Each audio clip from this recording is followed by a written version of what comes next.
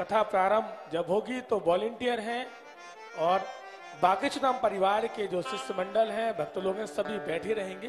कोई उठेगा नहीं क्योंकि अवस्था होती है और भगवान की भक्ति बैठकर ही स्मरण करनी चाहिए जिससे कि हमें फल प्राप्त होता है।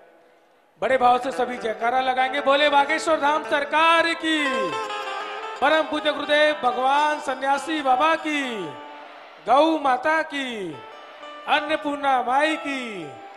जय जय श्री राम जो अगल बगल में लोग खड़े हुए हैं, उनसे हमारा आग्रह है कि आप आप पीछे बैठे, क्योंकि जगह नहीं है, फुल हो चुकी है। और अगल बगल में आप सभी के लिए पंडाल लगा हुआ है, वहाँ आप विराजमान हो जाएँ। और एलईडी वाले अगर बात सुन पा रहे हैं तो एलईडी आज कथा के बाद आप वहाँ लगा दें दोनों पंडाल में। प्रमोद जी, कथा के बाद प्लेन वाले पंडाल में एलईडी लगा दें, है ना? सीताराम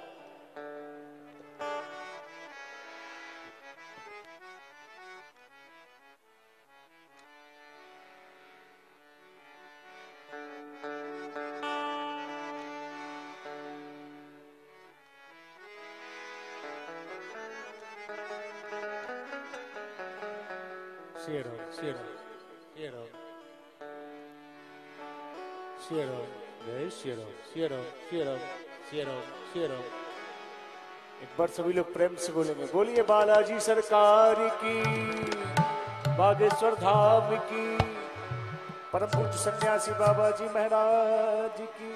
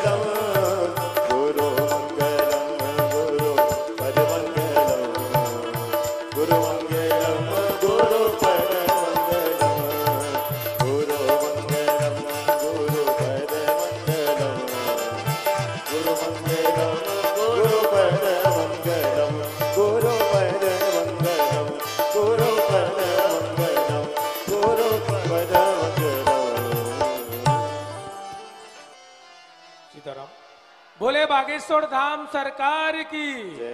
परम पूज्य गुरुदेव भगवान सन्यासी बाबा की। सर्वप्रथम आज प्रथम दिवस की मंगल आरती के लिए हम आप सभी चलेंगे और हमारे बीच विराजमान है पूज्य महाराज श्री केरवाना वाले। महाराज श्री के श्री चरणों में प्रणाम करते हुए उनसे आग्रह है कि पावन आरती में पधारें और हमारे बीच आ, पावन मंच पर ब्राह्मण देवता भी विराजमान है। उनके श्री चरणों में हमारा आग्रह है, प्रणाम है कि आप भी पावन आरती में पधारें। एवं मुख्य यजमान परिवार श्री भूपेन्द्र सिंह बहेरिया जी एवं सुरबेन सिंह जी, शुभम सिंह जी, सौरभ सिंह जी एवं उनका समस्त परिवार, उनसे आग्रह है कि पावन आरती में आप पधारें। एवं बागेश्वर धाम शिष्य मंडल सागर शिष्य मंडल में से श्री संदीप दुबे जी से हमारा आग्रह है कि आप भी पावन आरती में पधारें और आइए चलते हैं पावन आरती की ओर। जय श्री राम। ॐ ज्वालामालिन्ये नमः। सर्वोपचारार्थे गन्धाक्षतपुष्पाणं समर्पयामि। ॐ चन्द्रमा मनसो जातचक्षोः सूर्यो अजायत श्रोत्राद्वायुश्च प्राणश्च मुखादग्निरजायत श्री भागवत भगवान की है आरती। पापियों को पाप से है तारती। श्री भागवत भगवान की है आरती। पापियों को पाप से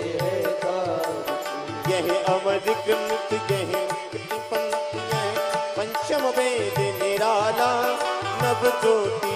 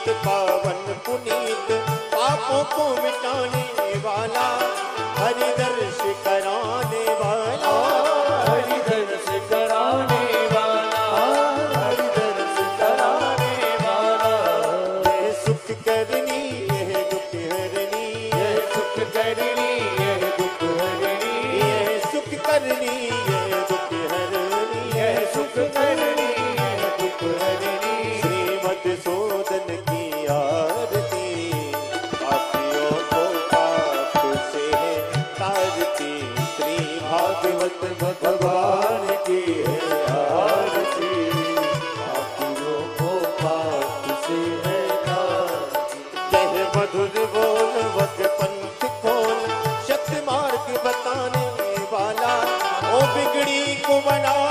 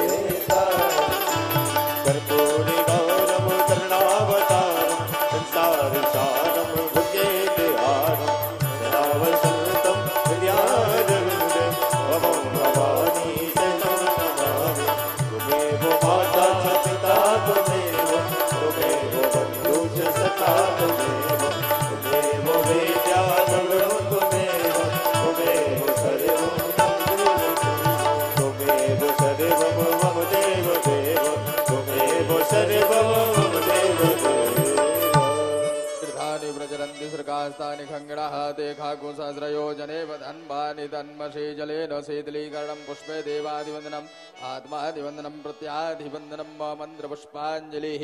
हरिः ॐ ॐ जदनेन जदनमय जन्त देवास्तानि धर्माणि प्रथमान्याशन्ना देहनाकं महिमानः।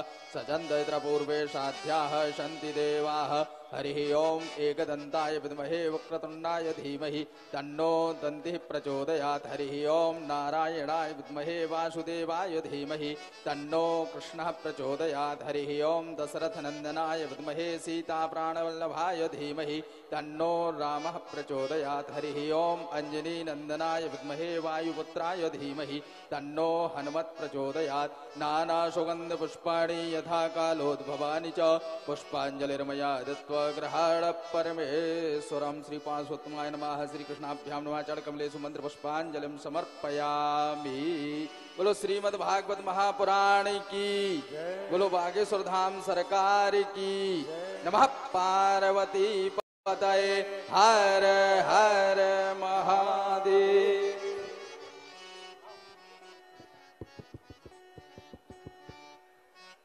सीताराम बोले बागेश्वर धाम सरकार की, परम पूज्य गुरुदेव भगवान सन्यासी बाबा की, गौ माता की, अन्नपूर्णा माई की, भारत हिंदू राष्ट्र की, जय जय श्री राम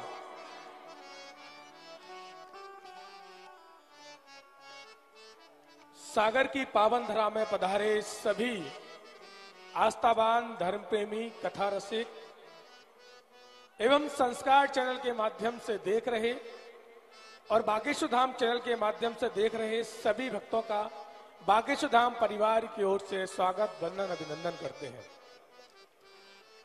एवं मुख्य यजमान परिवार श्री भूपेंद्र सिंह बहेरिया जी एवं सागर शिष्य मंडल, आप सभी का भी तालियों से स्वागत करते हैं, क्योंकि आप सभी के संकल्प से सदगुरुदेव भगवान का आगमन सागर की पावन धरा में हुआ। और आप सभी के संकल्प से सदगुरुदेव भगवान के चरण शरण में बैठकर हम आप सभी आज से सात दिन तक श्रीमद भागवत महापुराण कथा श्रवण करने जा रहे हैं। श्री महर्षि वेदक व्यास जी द्वारा रचित श्रीमद भागवत महापुराण की दिव्य मंगलमय व्याख्या लेकर श्री बागेश्वर धाम सरकार के मुखार बिंद से हम आप सभी कथा श्रवण करेंगे। श्रीमद भागवत महापुराण यानी साप्ताहिक ज्ञान और इस ज्ञान की गंगा में हम सब गोता लगाने जा रहे हैं।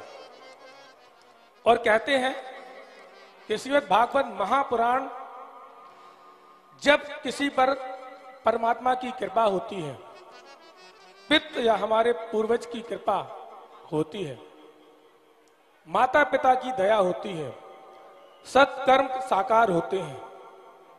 तब जाकर किसी को श्रीमद भागवत महापुराण सुनने को मिलती है और श्रीमद भागवत महापुराण का फल प्राप्त हम आप सभी को होता है। हम आप सबका परम सौभाग्य है कि श्री बागेश्वर धाम सरकार के चरण शरण में बैठकर सात दिन तक इस ज्ञान की गंगा में गोता लगाएँगे।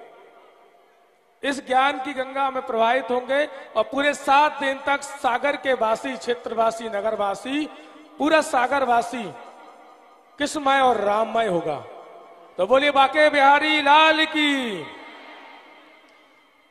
श्री बागेश्वर बालाजी सरकार का दिव्य दरबार। कलयुग के राजा श्री हनुमान जी महाराज हैं। उनकी कृपा और ऋषि मुनियों की तपस्या से जगत में वह सब कुछ संभव है, जिसे असंभव मानकर व्यक्ति निराश हो जाता है। श्री बागेश्वर बालाजी का दिव्य तीर्थ स्थल इस बात का प्रमाण है। यहाँ पर प्रतिमाएँ देश, प्रति माह, देश और विदेश से लाखों भक्त लोग रोते हुए आते हैं और सभी की झोली भरती और सभी हँसते हुए बागेश्वर धाम से जाते हैं। श्री बागेश्वर बालाजी की अपार अनुकंपा और पूज्य गुरुदेव भगवान सन्यासी बाबा की कृपा से दिव्य दरबार में लोगों की दैहिक देवे को भौतिक कष्टों का निवारण होता है। यह शंका का विषय नहीं है, श्रद्धा का भाव है, विश्वास है। जिसने और हम आप सभी इस विश्वास को श्रद्धा को अनुभव कर सकते हैं। ऐसे ही लगातार बागेश्वर धाम सरकार और पूज गुरुदेव भगवान की तपस्या से अनेकानेक चमत्कार बागेश्वर धाम पर हो रहे हैं। इस दिव्य स्थल पर बरसती है संपूर्ण कृपा। जहाँ पर कोई इस कृपा का मोल नहीं, अनमोल है। बागेश्वर धाम पर सदगुरुदेव भगवान से मिलने का, टोकन नंबर लगाने का अर्जी लगाने का, या फिर दर्शन करने का, या धाम पर बने आवास में रुकने का, किसी प्रकार का कोई भी शुल्क लक्ष्य नहीं लगता है। बागेश्वर धाम सिद्धपीठ आश्रम पूर्णता निःशुल्क है। बागेश्वर धाम पर समस्त जो सेवाएँ चल रही हैं, वो सेवाएँ बागेश्वर धाम समिति द्वारा पूर्णता निःशुल्क सेवाएँ हैं, जो अनवरत चल रही हैं। ऐसे ही बागेश्वर धाम परिवार ने लगातार मानव सेवा, समाज सेवा, सनातन धर्म के लिए राम राम की एक अलग पूरे विश्व में, पूरे भारत वर्ष में जगाई है। हाल ही में सदगुरुदेव भगवान ने और बागेश्वर धाम परिवार ने ऐसे संकल्प लिए हैं, जो हम आप सभी के लिए बड़े सुखदायी हैं। सनातन संस्कृति में साधन और साधना दोनों का महत्व है। जैसे दबा और द्वा दोनों की पूर्ति होने पर काया निरोगी होती है। उसी तरह श्री बालाजी की कृपा से हमारा जीवन सुखमय होता है। हमारे शास्त्र भी औषधि के महत्व को ज्ञात कराते हैं। जैसे रामचरित मानस में प्रभु श्री राम के अनुज श्री लक्ष्मण भगवान को जब निरोगी बनाने के लिए हनुमान जी महाराज संजीवनी बूटी लाए, उसी तरह हमारे जीवन में भी साधन और साधना दोनों की आवश्यकता है।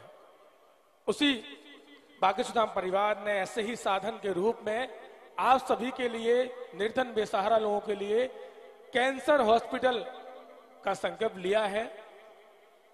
जो बुंदेलखंड में, ये सुखदायी है, समूचे बुंदेलखंड में 2028-2029 तक गुरुदेव भगवान का संकल्प है कि जो निर्धन बेसहारा लोग हैं, धन के कारण उनके इलाज ठीक तरीके से नहीं हो पाता है तो बहुत ही जल्द बागेश्वर धाम सिद्धपीठाश्रम के आसपास कैंसर हॉस्पिटल बनने जा रहा है, जो कि आप सभी के सहयोग से और बागेश्वर धाम परिवार के सहयोग से संपन्न होगा।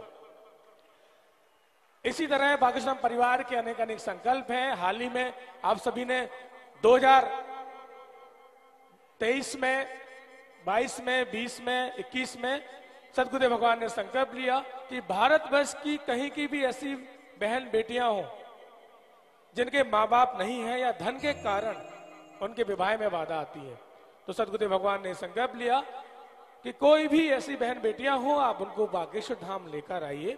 पूरी व्यवस्था उनकी बागेश्वर धाम से की जाएगी और हर वर्ष महाशिवरात्रि के पावन पर्व पर उन बेटियों का विवाह संपन्न करवाएँगे। 18 फरवरी को इस वर्ष गुरुदेव भगवान ने 121 बेटियों का विवाह संपन्न करवाया 121 बेटियों के पिता सदगुरुदेव भगवान बने। और उसी दिन सदगुरुदेव भगवान ने संकल्प लिया कि आने वाले 8 मार्च 2023 में आप सभी के सहयोग से सदगुरुदेव भगवान की कृपा से, बालाजी की कृपा से एक सौ इक्यावन बेटियों का विवाह संपन्न करवाएँगे। ये बहुत बड़ा संकल्प है, लेकिन आप सभी के सहयोग से आप भी अपना तुलसी पत्र इस संकल्प में अर्पित करें और सहभागी बने। आइए चलते हैं आज की प्रथम दिवस की भागवत महापुराण में। प्रवेश करते हुए सदगुरुदेव भगवान के मुखार से हम आप सभी कथा श्रवण करेंगे। सदगुरुदेव भगवान के श्री चरणों में प्रणाम करते हुए बोले, बागेश्वर धाम सरकार की, परम पूज्य गुरुदेव भगवान सन्यासी बाबा की, अन्नपूर्णा माई की, जय जय श्री राम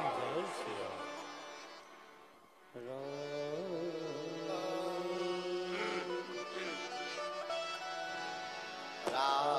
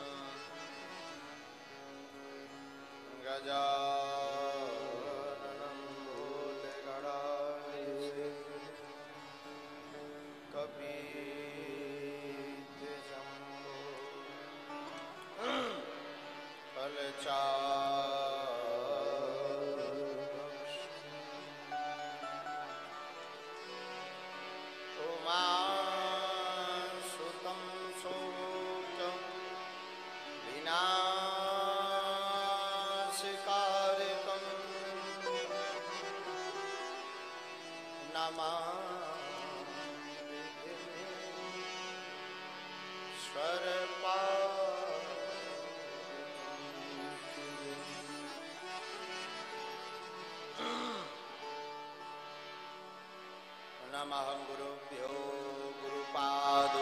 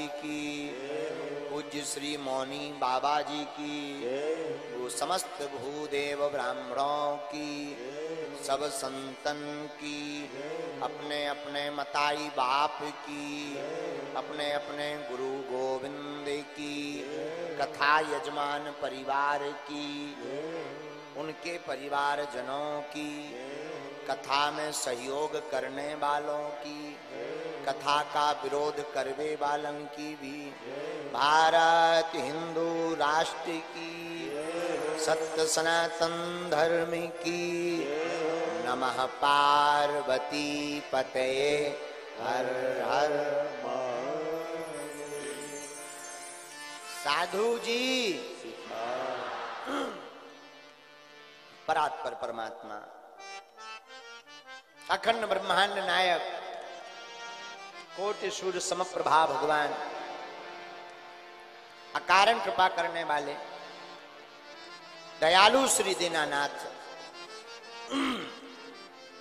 अनंतानंद जिनमें व्याप्त हैं, आनंद के परम स्वरूप हैं, ऐसे आनंद कंद श्री सच्चिदानंद भगवान, श्री रघुनाथ जी के पाद कमलों को हम सब साष्टांग दंडवत प्रणाम करते हैं। कथा के सबसे बढ़िया वक्ता, सबसे बढ़िया श्रोता, इस संसार में अनंत बलवंत श्री हनुमंत लाल जी सरकार, ऐसे बागेश्वर हनुमान जी के चरणों को भी प्रणाम। पूज्यपात श्री दादा गुरु सदगुरु भगवान श्री सन्यासी बाबा। बागेश्वर बालाजी के चरणों को प्रणाम। आप सबसे प्रार्थना है, दास पर अपना अनुग्रह करो। एवं किसी न किसी रूप में यहाँ आकर के विराजमान हो। संतों की पावन भूमि, धर्म की नगरी, लोग भावना में जैसे कहते गागर में सागर। ऐसे ही है गागर का सागर, आज सागर भी गागरमय हो गया। राममय कृष्ण भक्ति से ओतप्रोत होने के लिए हम सब हम सब बहेरिया के पावन प्रांगण की धरा पर बैठे हुए हैं। सागर की वो भूमि जो हमारा भी संभाग का जिला है और सागर का नाता भी हमारा बड़ा पुराना है। ऐसी पावन धरा की रज को मस्तक पर लगा करके प्रणाम करते हैं। हमारे सन्मुख विराजमान सभी संत भगवानों के चरणों में नाक रगड़ के दंडवत प्रणाम स्वीकार हो दास का। भूदेव ब्राह्मणों को प्रणाम। एवं तीनों पंडालों में जो जहाँ बैठे हैं कुछ बैठे हैं कुछ खड़े हैं फिर भी कुछ अड़े हैं बात बात पे कुछ लोग लड़े हाँ, फिर भी बालाजी के दरबार में पड़े हैं। फिर भी पड़े हैं। क्योंकि इनके हृदय में राम नाम जड़े हैं, इसलिए दरबार में पड़े हैं। जो जो जहाँ विराजमान है, श्री सीताराम भगवान को ध्यान करके कलिकुल शेखर पावन अवतार परम पूज्यपाद श्री अनंतानंद श्री गोस्वामी तुलसीदास जी की एक पंक्ति के साथ आज की चर्चा हम प्रारंभ करते हैं। सिया राम मैं सब जग जानी।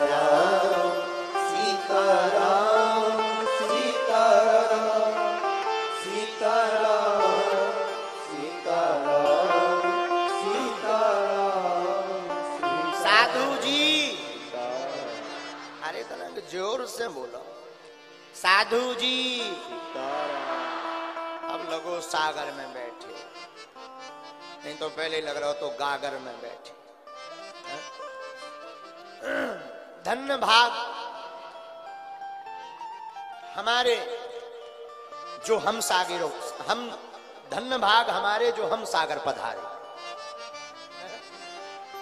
धन्य है हनुमान जी की कृपा और इस कथा का पूरा श्रेय।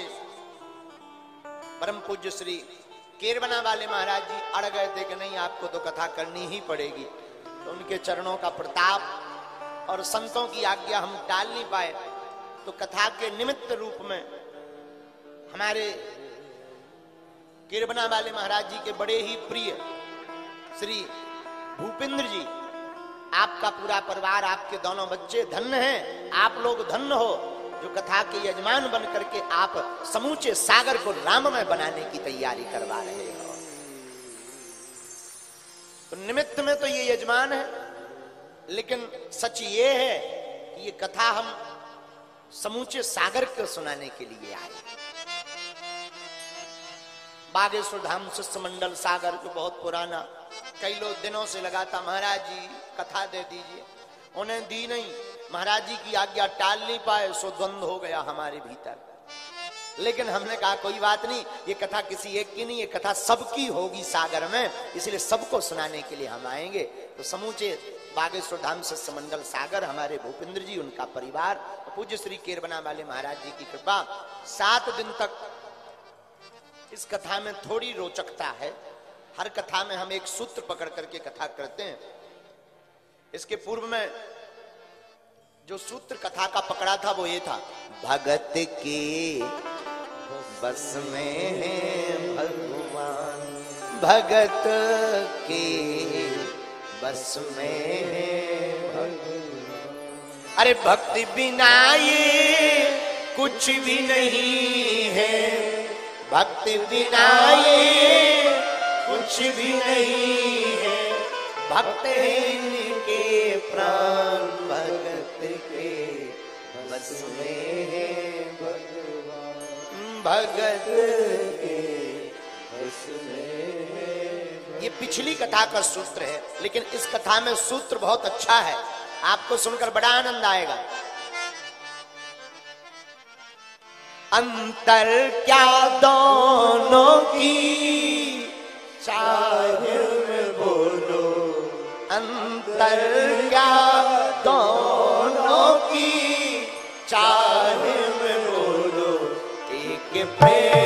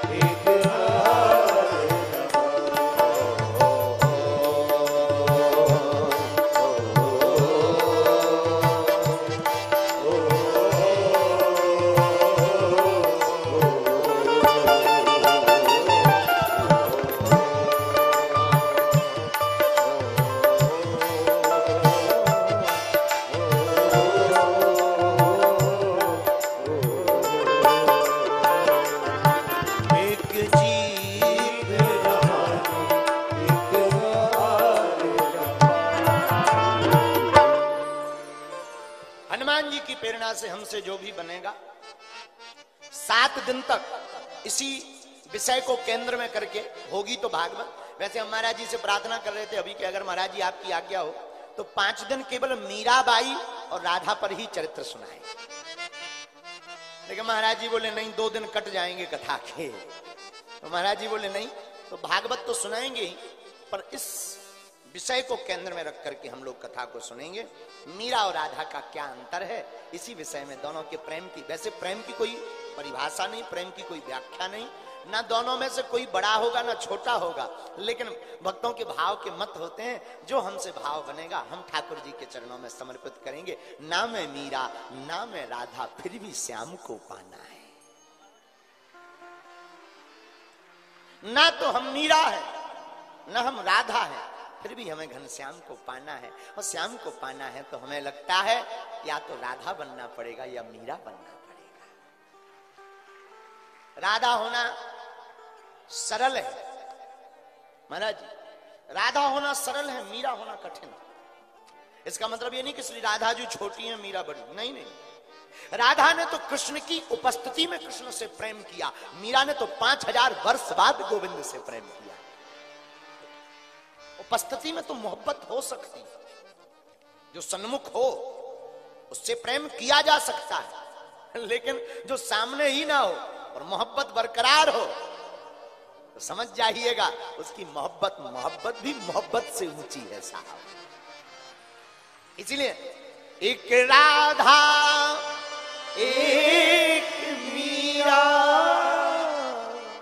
दोनों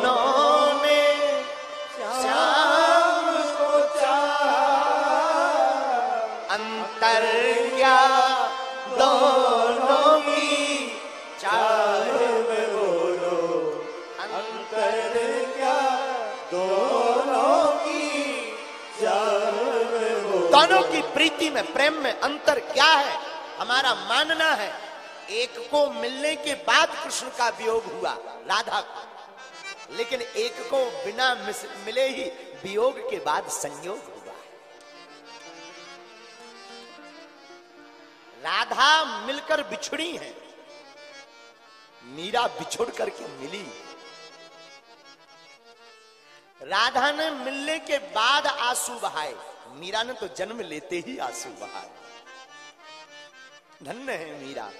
मेवाड़ की भक्ति मता माता मीरा। इनकी भक्ति का क्या कहना?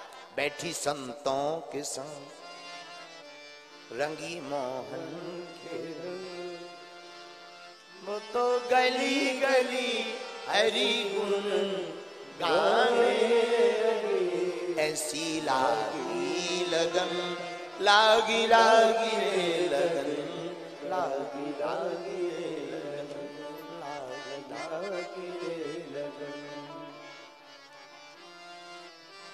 कृष्ण प्रेममयी राधा राधा प्रेममयो हरि। जीवने धनी नित्यम राधा कृष्ण गतिर्मम। हैं? एक बात यहाँ पर उठती है। भगवान ने जब श्री राधा जी से प्रेम किया तो विवाह रुक्मणी जी से क्यों किया? विवाह भी करना चाहिए। हाँ, बात बहुत अच्छी तर्क लोगों का अच्छा है। लेकिन हमारा मानना है विवाह दो लोगों में होता है। दो आत्मा एक हो, उसी को तो विवाह कहते हैं। अच्छा लेकिन अब आजकल तो बड़ा उल्टा ही जमाना है। पहला बड़ा सीधा जमाना था, दो आत्माएँ एक होती थी तो उसे कहते थे विवाह। अब आजकल तो कई लोगों के ऐसे विवाह होते हैं कि दो आत्माएँ तीन हो जाती हैं। एक नहीं होती है। तो एक दिन हम बैठे बैठे सोच रहे थे कि अब विवाह नहीं अब भी आह करना चाहिए। ज़िंदगी भर रो ही रहा तरा रो ही रहा।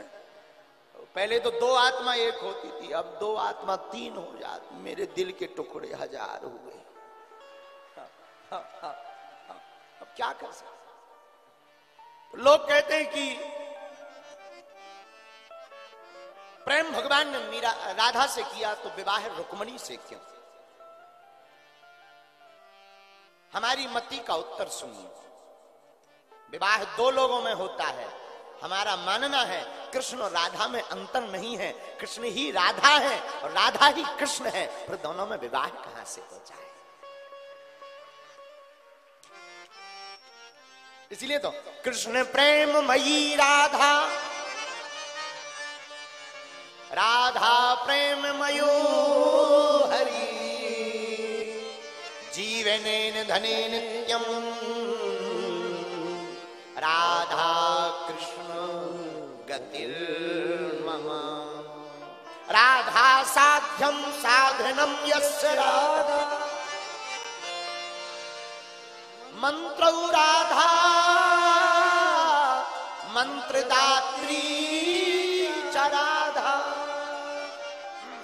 सर्वं राधा। जीवनम यस्य राधा। राधा राधा। वाचिकम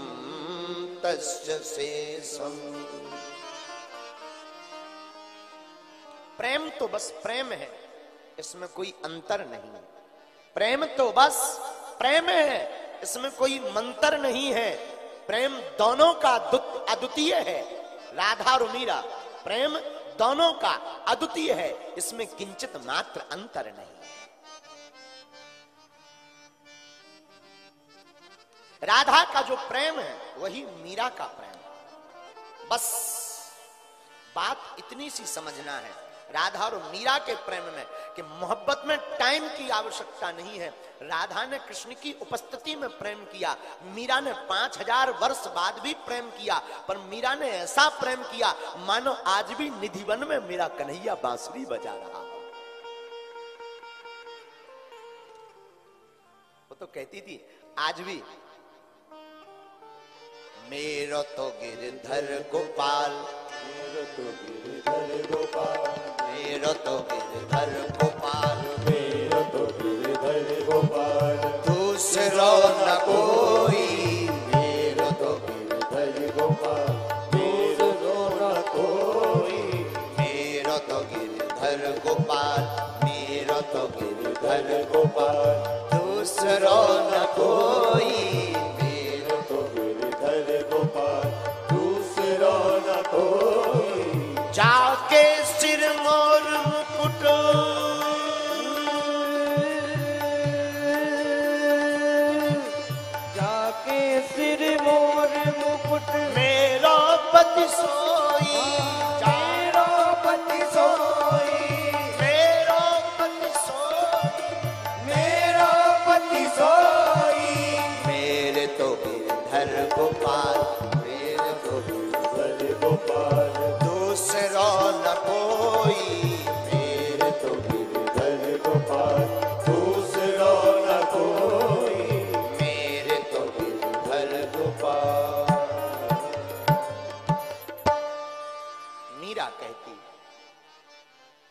हमारे तो सिर्फ़ गिरधर है। कोई दूजा है भी नहीं। और इसी प्रेम इसी को प्रेम की समर्पणता कहते हैं। प्रीति में कोई ऑप्शन नहीं होता। भगवान के प्रेम में तो कोई ऑप्शन है भी नहीं। क्योंकि भगवान के जैसे सिर्फ़ भगवान है। भगवान के जैसा दूसरा कोई नहीं है। मेड़ता की परम भक्ति मता माता मीराबाई। और मीराबाई को बचपन से ही गोविंद की लगन लगी। मीराबाई के पितामह का नाम श्री दूधाजी महाराज। मीराबाई के पितामह का नाम था श्री दूधाजी महाराज। डबल इनकम श्री दूधाजी महाराज चतुर्भुज नाथ मंदिर के पुजारी थे। आहा एक दिन बीमार पड़ गए दूधा जी बीमार इतने हो गए कि चलने में भी बड़ी दिक्कत। नहाए तो बिल्कुल नहीं। गाँव के लोग मिलने आए। गाँव के लोगों ने कहा, बीमार हो गए, बीमार हो गए, क्या बात है? श्री दूधा जी महाराज बोले, पेट खराब है। बोलो, सीताराम, अब स्नान नहीं करेंगे। तो चिंता क्यों कर रहे बोले, चिंता इस बात की है कि श्री ठाकुर जी को दूध कौन पिलाएगा? वहीं पर नन्ही सी सात वर्ष की बालका भक्तिमती माता श्री मीराबाई खड़ी हुई थी। श्री दूधाजी महाराज ने सात वर्ष की बालका मीराबाई से कहा, मीरा, आज दूध का भोग तुम जाकर के लगाओ। मीराबाई ने हाथ में कटोरा लिया, दूध का। पितामह दूधाजी की आज्ञा मानकर हाथ का कटोरा दूध में लेकर के, आहा श्री चतुर्भुज नाथ मंदिर में गई, मीरा। जाकर के कटोरा रखा। हाथ जोड़ के कहा, सरकार, मैं पितामह दूधाजी की नातनी, मीरा हूँ, और आज उनकी तबीयत ठीक नहीं है। हमको भोग लगाने भेजा है, लीजिए और दूध को पीजिए। घंटिया बजाई, नन्ही सी सात साल की बालका वो विधि तो कुछ जानती नहीं थी। अच्छा बात भी सही है। जो विधि जानता, वो केवल विधि ही पूरी करके आता। मीराबाई कोई विधि नहीं जानता। दूध का कटोरा रखा। पाइए। अब भगवान ने तो वैसे ही पाया जैसे रोज पाते थे। मीरा ने देखा, दूध का कटोरा ज्यो का त्यों भगवान पी ही नहीं रहे। नन्ही सी बालका उसे लगता, लगा, भगवान आज नाराज़। क्योंकि विधि से परिचित नहीं, उसे क्या पता कि भगवान दूध कैसे पीते हैं? मीराबाई हाथ जोड़ करके भगवान की तरफ़ श्री चतुर्भुज नाथ की तरफ़ देख करके कहती सरकार, हाथ जोड़कर गाने लगी। थे तो आरोग्यनी मदन गोपाल, कटोरो लाई दूध को भरो। थे तो आरोग्यनी मदन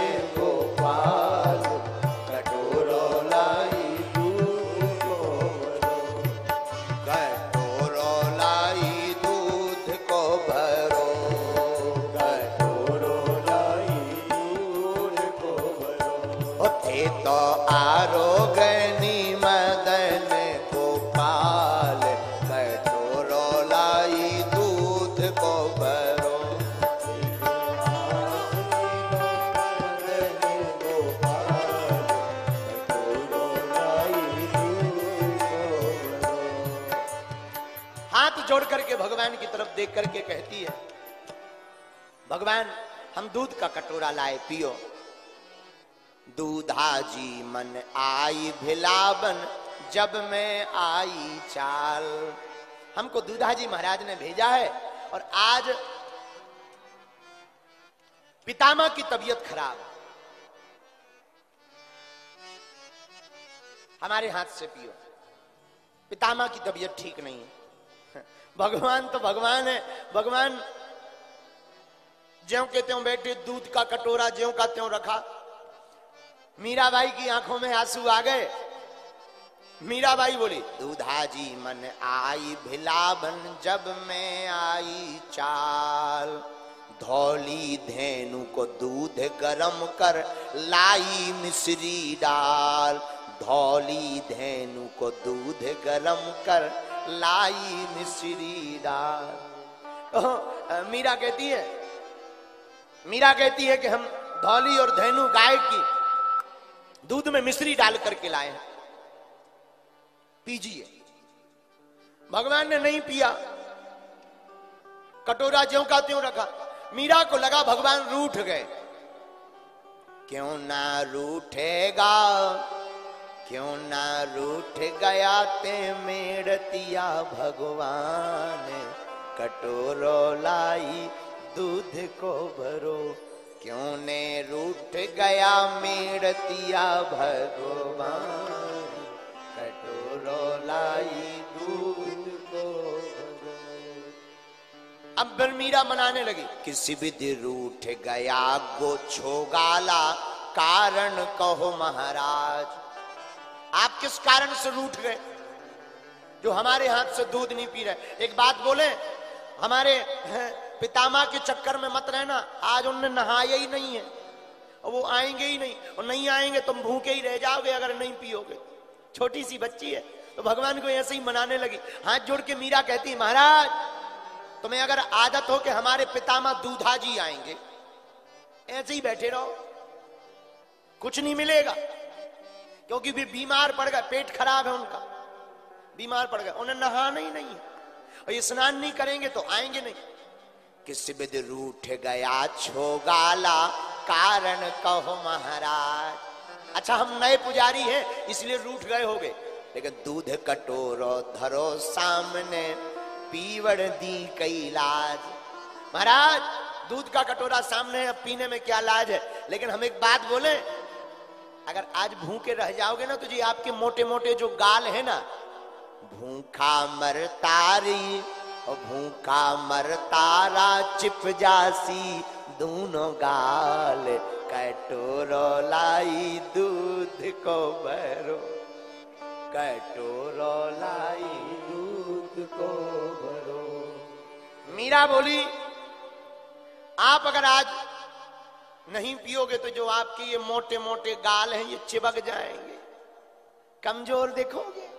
ये जो भरे भरे आपके गाल दिख रहे चिबक जाएँगे। और भगवान भी बड़े सहज हैं। सहजता से भगवान प्रसन्न हो जाते हैं। भगवान के पास में सहजता की प्रार्थना पहुँच जाती है। एक संत कहते थे, प्रभु मंजूर करता है, प्रार्थना जब दिल से होती है प्रभु मंजूर करता है, प्रार्थना जब दिल से होती है, मगर मुश्किल तो यह है कि यह बड़ी मुश्किल से होती है। प्रभु मंजूर करता है, प्रार्थना जब दिल से होती है, लेकिन मुश्किल तो यह है कि यह प्रार्थना बड़ी मुश्किल से होती है। मीरा राई ने कहा, भूखा मर तारा चिप जासी दोनों गाल, कटोरो लाई दूध को भरो। कटोरो लाई दूध को भरो। आपके गाल चिपक जाएँगे। भगवान इसी सरलता पर रीझ गए। जो भगवान बड़े बड़े योगियों के चित्त में प्रकट नहीं होते, धन्य है। मीरा के सामने सात साल की अवस्था में ही इसी भाव के साथ चरित्र के रूप में प्रकट हो गए। आहा। और भगवान ने गट गट दूध पी लिया और दूध पिया से एक बूंद नहीं छोड़ा। मीरा बोली, लगता है ज़्यादा ही भूखे थे। इसीलिए तो हम पहले से चिल्ला रहे थे कि देर में मत पियो, अब लो। हमें भी नहीं छोड़ा। कम से कम दो बूंद ही छोड़ दे कटोरा लिया। उसे लगा, भगवान पीते ही ऐसे होंगे, मीरा है, छोटी बच्ची है। वापस आई पितामा दूधा जी ने पूछा, प्रसाद ले आओ। मीराबाई बोली, बचो हो, सो दे। पितामा ने पूछा, गया कहा? बोले, गया, पी गया। गया नहीं, पी गया। कौन? भाई, तुम्हारी सरकार। मीरा मीराबाई लेकिन जब आने लगी भगवान के रूप को देखा मधुर मुस्कुराहट को देखा, काले घुंघराले बालों को देखा तो मीरा आते समय भगवान से कहती, हे भगवान, आपका ये जो दिव्य नटखट रूप है, इसके दर्शन हमें रोज होते रहे, पर कैसे होंगे? पितामा आज बीमार है, कल ठीक हो जाएँगे। हमें तो आने नहीं मिलेगा। अब मीरा कितनी भोली है, जरा देखना। मीरा प्रार्थना करती, हे भगवान, हमारे पितामा बीमार ही बने रहे बीमार बीमार बने रहे। और बीमार बने रहेंगे तो कम से कम वो नहा नहीं पाएँगे। और भगवान ऐसे बीमार बनाना कि वो सफ़र ही ना पाए। पेट एकदम खराब ही रहा है। एकदम लगे सुपर फास्ट एक्सप्रेस चलते ही रहे। बोले क्यों? बोले कम से कम नहाएँगे तो नहीं। भगवान भी बड़े हंसे। भगवान ऐसे भोले लोगों पर हंस बड़े जल्दी रीझ जाते हैं। भगवान हंस करके बोले, मीरा चिंता मत करो। इसके लिए तुम्हारे पितामा को बीमार नहीं पड़ना पड़ेगा। हम ऐसी कोई लीला करेंगे कि तुम रोज हमारे पास आती रहोगी।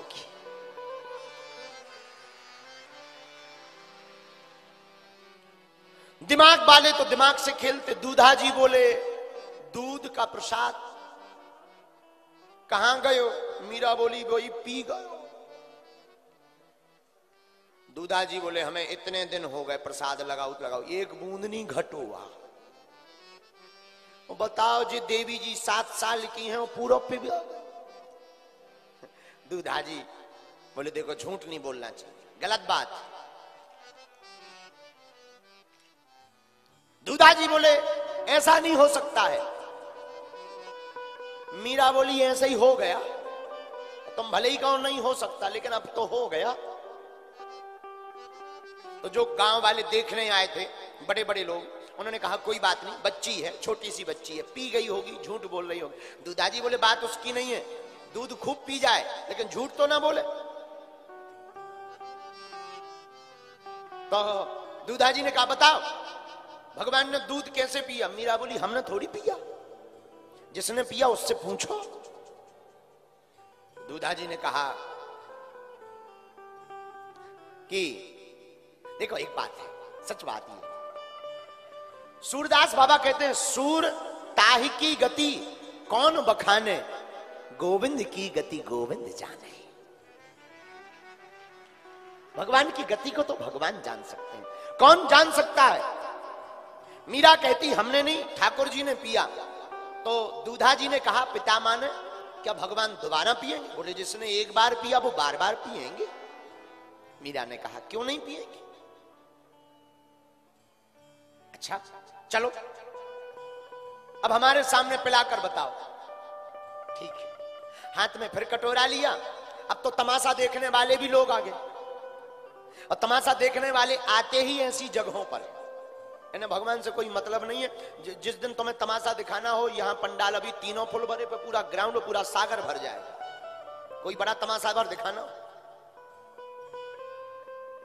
तो तमाशा देखने वाले पीछे पीछे, सात साल की बालिका, भक्तिमती मेवाड़ की महारानी, मेवाड़ की भक्तिमती माता मीरा, आगे आगे दूध का कटोरा लेकर के चतुर्भुज नाथ के मंदिर में पहुँच गए कटोरा हाथ में लिया, भगवान के सामने रखा, हाथ जोड़ के बोली, हमें तो भरोसा है, इन्हें भरोसा नहीं, फिर से पी जाओ।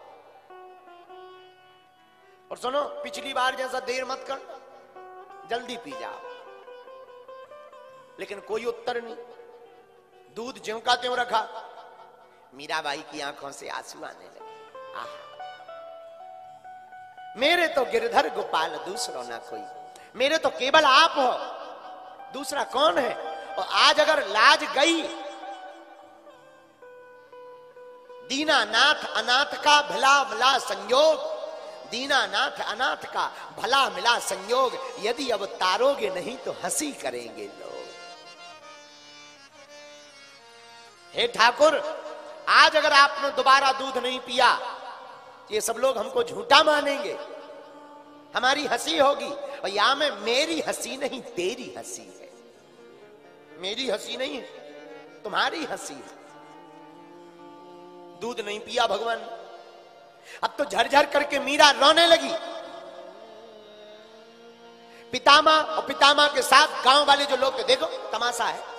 बच्ची है। झूठ बोलती है? पितामा दूधा जी नाराज़ हो। अरे पी नहीं था तो बता देती, झूठ क्यों बोली? मीरा, आँखों में आँसू भर करके गोपाल की तरफ़ देख करके रोने लगी। ए, गोपाल।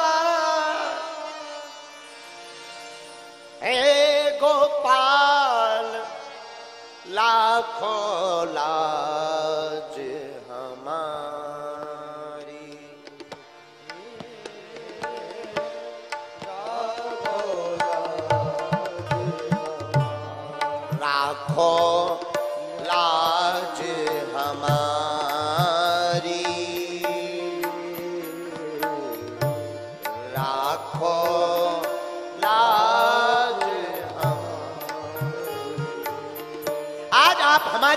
बचाओ। आहा। आँखों में आँसू भरकर रोने लगी और बेहोश होने लगी मीरा।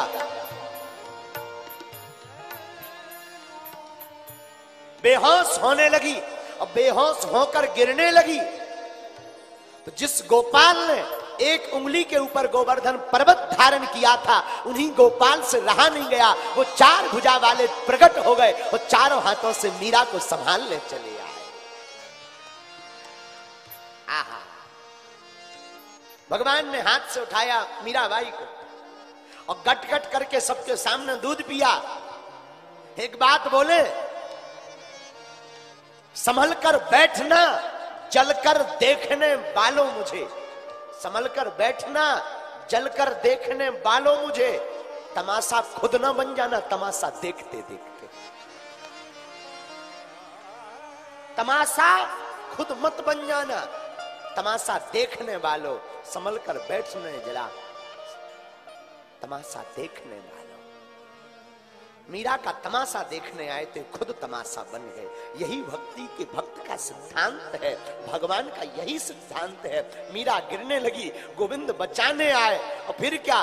दूधाजी महाराज की आँखों में आँसू आ गए। धन्य है बिटिया, जिनको हज़ार, कई सालों से हम दूध पिला रहे पर आज तक दर्शन नहीं भय पर तुम धन्य है। और उसी दिन से मीरा गोविंद की हो गई। और गोविंद मीरा के हो गए। और यहीं पर राधा और मीरा के प्रेम की अंतर यहीं से दिखाई पड़ता है। दोनों के प्रेम का अंतर यहीं से प्रारंभ होता है कि मीरा ने तो प्रारंभ ही रोकर किया, विरह के साथ। राधा का प्रारंभ विरह के साथ नहीं है, लेकिन मीरा का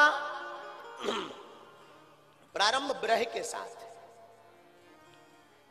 हमारा मानना है, अंतर में, राधा और मीरा में, राधा अगर विरह है तो मीरा ब्रह की ज्वाला है।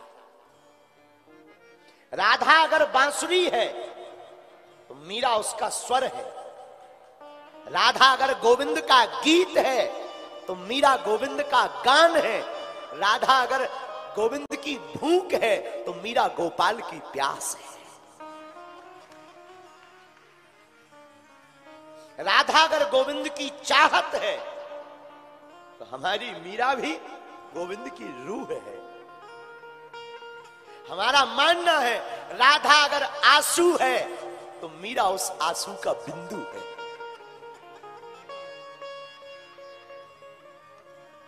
मीरा का प्रेम बड़ा अद्भुत मीरा के प्रेम की पराकाष्ठा लेकिन राधा के प्रेम भी कम नहीं। श्री सर्वेश्वरी जी का, हमारी प्रिया जी का प्रेम भी कम नहीं। इन्होंने भी सौ साल वियोग सहा श्री दामा के श्राप के कारण सौ वर्ष का वियोग सहा। एक बार भगवान कृष्ण विहार कर रहे थे। राधा को गुमान हो गया। उल्टा सीधा बोल दिया। श्री दामा ने सुन लिया और श्री दामा ने भी उल्टा सीधा श्री प्रियाजू से बोल दिया। तो राधा रानी जी ने श्राप दे दिया, जाओ, तुम पृथ्वी पर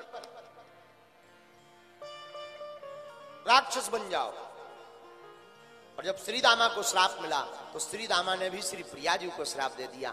आपने हमें श्राप दिया, हम भी श्राप देते हैं। जाओ, तुम्हारा हमारे कन्हैया से सौ साल का वियोग हो जाए उसी श्राप के कारण ब्रज में मीरा, राधा, वृंदावन में सौ वर्ष तक भगवान से दूर रही। महाराज जी, आज भी वृंदावन में जहाँ गोपियाँ और राधा बैठ करके रोती नहीं, ऐसा माना जाता है आज भी वहाँ का पानी खारा है। इतने आँसू बहाए। तो राधा ने भी खूब आँसू बहाए, लेकिन मीरा ने भी कम आँसू नहीं बहाए।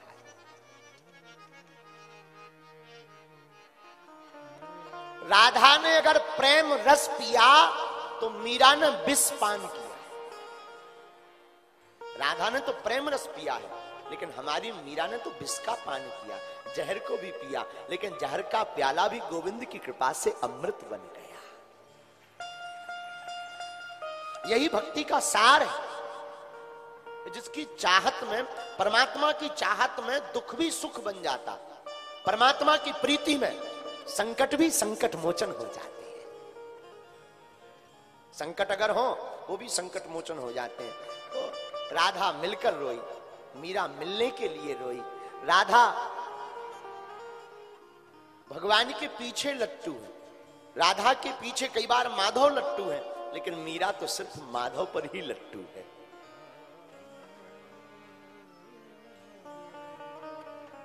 एक अंतर और। राधा जी ने जब अपना शरीर पूर्ण किया तो राधा के शरीर में हमारे ठाकुर जी विलय हुए। लेकिन जब मीरा ने शरीर पूरा किया तो ठाकुर जी विलय नहीं हुए, मीरा कृष्ण में विलय हुई। और दोनों के प्रेम में कोई ज़्यादा अंतर नहीं। दोनों का प्रेम अपने आप में ही सर्वोपरि है। हम दोनों में मतभेद नहीं उत्पन्न करना चाहते। लेकिन इस प्रसंग को हमने इसलिए उठाया कि रोज एक एक मीरा चरित्र को अगर सुनेंगे तो हमारे अंदर में मीरा का भाव प्रकट होगा और गोविंद की हमें प्राप्ति हो जाएगी। इसलिए हमने यहाँ की कथा का सूत्र निकाला। अंतर क्या दोनों की चाह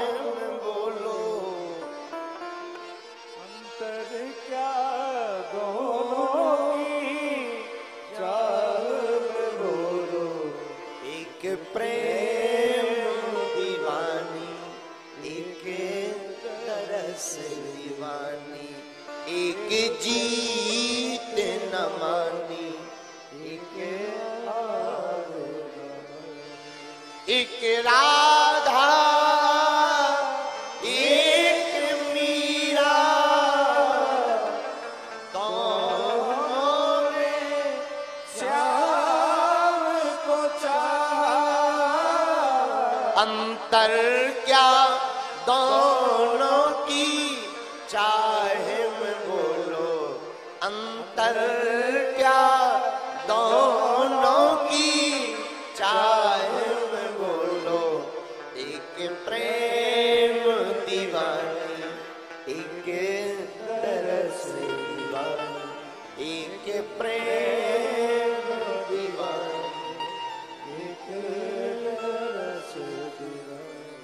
कथा में दूसरा भाव मीरा और राधा पर लेकर बैठेंगे।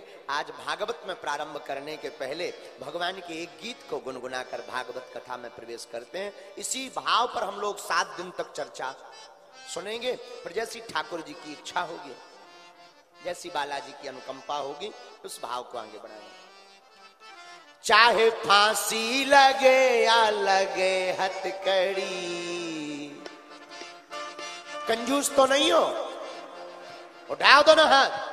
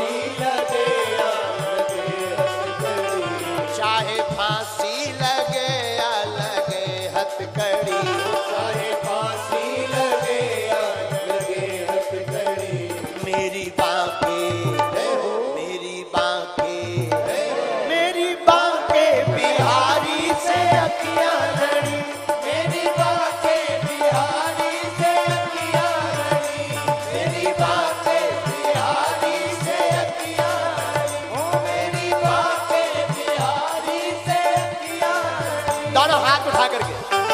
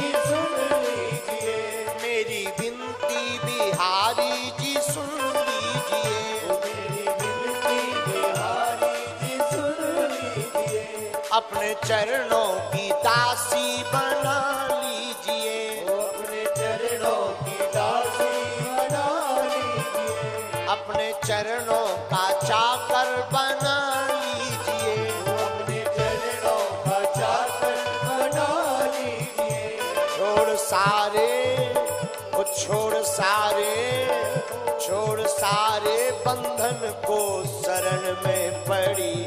छोड़ सारे बंधन को शरण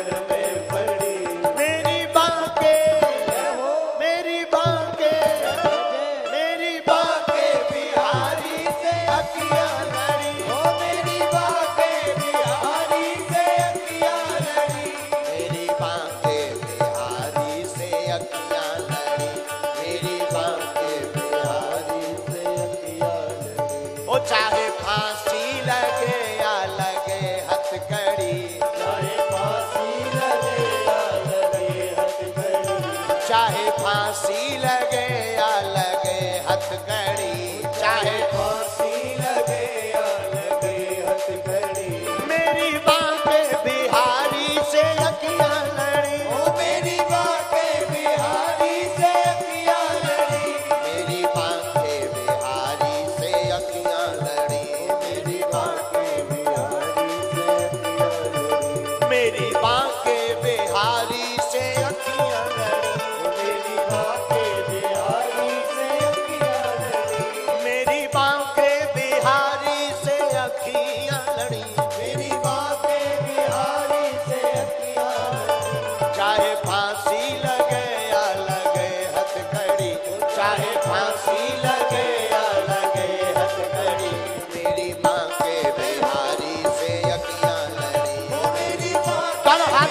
पीछे वाले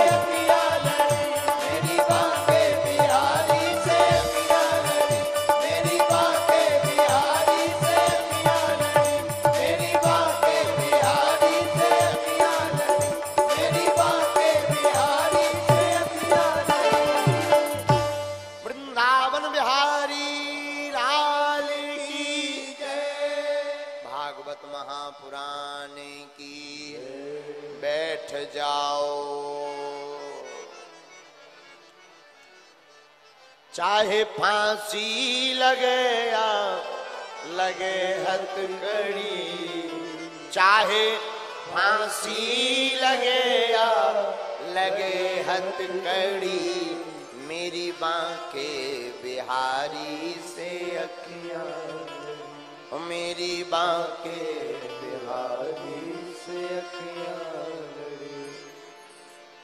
हम आप सब साप्ताहिक श्रीमद् भागवत कथा के प्रथम दिवस में है। भाष्यते सर्ववेदेषु गीयते नारद आदि भी वदन्ति त्रिषु लोकेषु। तरन्ति भवसागरा श्रीमद् भागवत महापुराण एक ऐसा सदग्रंथ, जिसमें 335 अध्याय है, अठारह हज़ार श्लोक है, द्वादश स्कंद है। और महाराज, भागवत के अक्षर अक्षर में हमारे गोविंद की श्यामलता समाई हुई है। क्या कहना भागवत का? महाराज, ये कोई पुस्तक नहीं है, कोई किताब नहीं है कि सात दिन कर लिया, राधे राधे राधे राधे राधे राधे राधे राधे, बाद में सब आधे आधे। हाँ कई लोग ऐसे भी होते हैं, सागर में भी ऐसे ही है। सागर की मत पूछो, सागर का चंगीला। हमारा हमारा एक चेला है चंगीला। आजकल यही सागर में रह रहा है, भोपाल रोड पे, फोल लाइन पे। हाँ। सागर का चंगीला, इतना विचित्र आदमी, इतना विचित्र आदमी। कोई काम नहीं करता। उसने एक मंत्र सीख रखा था, झाड़ा लगाने। कोई भी आवे, नीम का जो लोचा होता है, नीम का कोचा निकाले, लोचा। बस मंत्र लगावे, झाड़ा लगा बरसात आ गई, पत्नी ने कहा, दिन भर झाड़ते रहते हो, खप्पर छाओ। बरसात आ गई, आफत हो जाएगी। बरसात में पानी नीचे आएगा, तुम दिन भर यही करते रहे। अब वो इतना आलसी के उसे एक ही काम। किसी का पेट दर्द तो ठीक है, दांत भी दर्द हो, वह सोई वो कहे, कोई दिक्कत नहीं, बैठो बैठो, ऐसे दांत निकालो। और दांत निकलवा लगो मंत्र लगा अच्छा बताओ, दर्द गाओ। आदमी बोलो, दर्द नहीं गाओ, डांट चली गई। बड़ा विचित्र पत्नी बड़ी परेशान। बरसात आई। बरसात में तो अब जब खप्पर ही ठीक से नहीं रखे तो पानी तो नीचे आएगा लेकिन ये आदमी इतना आलसी फिर भी दरवाजे पे बैठा नीम का लौचा लिए कि कोई आए तो फिर झाड़ा लगवाए एक आदमी आया पेट में दर्द है बैठ जा बैठ जा बैठ जा पत्नी ने सोचा इतने दिन हो गए जरा गौर से सुने ये मंत्र क्या मारता है इसने नीम का लौचा लिया और मंत्र वाले ऐसे करते ही है तो पत्नी ने थोड़ा और कान लगाया कि क्या है? पत्नी को लगा के हद हो गई यार। इतने दिन हो गए मंत्र नहीं सुन पाए। कि आखिर ये कौन से मंत्र का? और कई लोग जो, जो मंत्र वाले होते हैं झाड़ा लगाने वाले में ऐसे तो एक दिन पत्नी बड़े गौर से सुन रही थी। और चंगीलाल, मंत्र बोल, घर बांधू, मरघट बांधू, मसान बांधू, आंग बांधू, सात समुद्र बांधू, आकाश बांधू, पाताल बांधू लोग आई बोली ठटरी के बरे, पहले मकान तो बाँध ले। मकान बाँध नहीं रहा। घर बांधू, आकाश बांधू, पाताल बांधू, सात समुद्र बांधू, मरघट मसान बांधू ठटरी के बरे। मकान तो तो पे बांधत भी नहीं बनो। ऐसे भी कई लोग होते हैं। जिनसे छोटे मोटे काम तो होती नहीं, पर बड़े काम करते रहते हैं बाणी में। बोलो, सीताराम, खैर, सागर के लोग ऐसे नहीं हैं, ये तो हमने श्रीलंका वालों की बात बताई है। आप लोग तो बहुत सज्जन हो, क्योंकि हमें अभी छह दिन टिकना है यहाँ। कथा भी करनी साकुशल तो पता चले कलई टमाटर गलन लगे। इसलिए जो, आप लोग तो बहुत अच्छे हो। लेकिन धन्य है श्रीमद भागवत महापुराण। भाष्यते सर्ववेदेषु गीयते नारद आदि। वदन्ति त्रिषु लोकेषु तरन्ति भवसागरा। श्रीमद् भागवत महापुराण में हमारे केवल गोविंद की कथा नहीं है। ना ना ना ना। गोविंद तो सहारा है, ये तो भक्तों की कथा से भरी हुई भागवत है। इसलिए इसका नाम ही है भागवत। एक बात और, महाराज जी, जो भागवत सुने, संसार से, हमारे गुरु जी कहते थे, संसार से भाग मत, इसलिए कथा सुनो भागवत। कैसे? वो हमको समझाते थे, बोले बेटा, हमारे दादा गुरु जी हमको समझाते थे, बोले बेटा सन्यासी बन करके तो जीना बहुत सरल है, लेकिन गृहस्थ में रहकर लुगाई की गाली सुनकर जीना बड़ा कठिन है। हमने कहा मतलब? बोले, बेटा ये सबसे बड़ी तपस्या है। इससे बड़ी कोई दूसरी तपस्या ही नहीं है। हमने कहा, बहुत अच्छी बात है। लेकिन हमने फिर पूछा, गुरु जी, इस तपस्या में मुस्कुराने का उपाय क्या है? तो उन्होंने बहुत अच्छी बात कही। बोले, गृहस्थ से भाग जाओगे तो भाग मत कहोगे। लेकिन गृहस्थ में रह करके अगर तप करके परमात्मा को पा जाओगे तो भागवत से ही पा पाओगे। ऐसी भागवत। भागवत के अक्षर अक्षर में हमारे भगवान बैठे हुए हैं। भागवत का पहला, पहले तो भागवत लिखी जब वेद व्यास जी ने तो नाम लिखा भागवत। भगवान के पास गए, महाराज, भागवत लिख दी, आपकी भगवान बोले, बहुत अच्छी बात है। श्री लक्ष्मी जी से बोले, देवी जी, देखो, हमारा ग्रंथ भागवत लिख गया है। इसमें तुम्हारा भी नाम है। कृपा करो। लक्ष्मी जी बोली, महाराज, अगर हमारा नाम होता तो मुख्य बोर्ड पर नाम लिखा होता। इसमें तो भागवत केवल आपका ही नाम है। भगवत प्रोक्तम इति भागवतम। भगवान के द्वारा कही गई वही भागवत। लक्ष्मी जी नाराज़ हो गई। आहा हा तो वेद व्यास जी ने कला का प्रयोग किया। भागवत के आगे दो नाम और जोड़ दिए। श्री मद। श्री और मद का प्रयोग कर दिया। श्री माने क्या? श्री माने लक्ष्मी। मद। मद का अर्थ, दो तीन अर्थ है, पर एक अर्थ समझ लो। मद का अर्थ खुमारी। पिबत राम रस चढ़त खुमारी। खुमारी खुमारी का मतलब न बेहोश, न पूर्ण होश उसके बीच में जो जो रहा, जी रहा, उसी का नाम है खुमारी न पूर्ण बेहोश हो गए न पूर्ण होश में रहे, उसके बीच में जो जीता है, उसी का नाम खुमारी है। और भक्त भी ऐसे ही होते हैं, ना वो संसार में जीते हैं, न भगवान की भक्ति में बिल्कुल डूबते हैं, बीच का बीच रस गोविंद के नाम का लेते हैं, इसी का नाम खुमारी है तो मद का अर्थ खुमारी फिर भागवत में कितने अक्षर हैं? कितने अक्षर हैं? चार। कितने? बोलो। कंजूस होगा। खा पी के आए। हाँ? व्रत तो। भागवत में अक्षर कितने नाम में?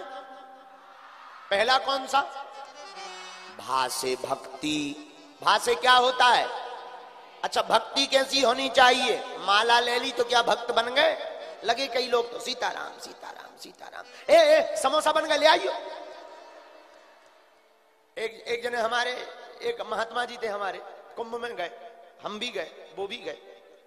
प्रयागराज का कुंभ हम तो बड़े खुरापाती आदमी।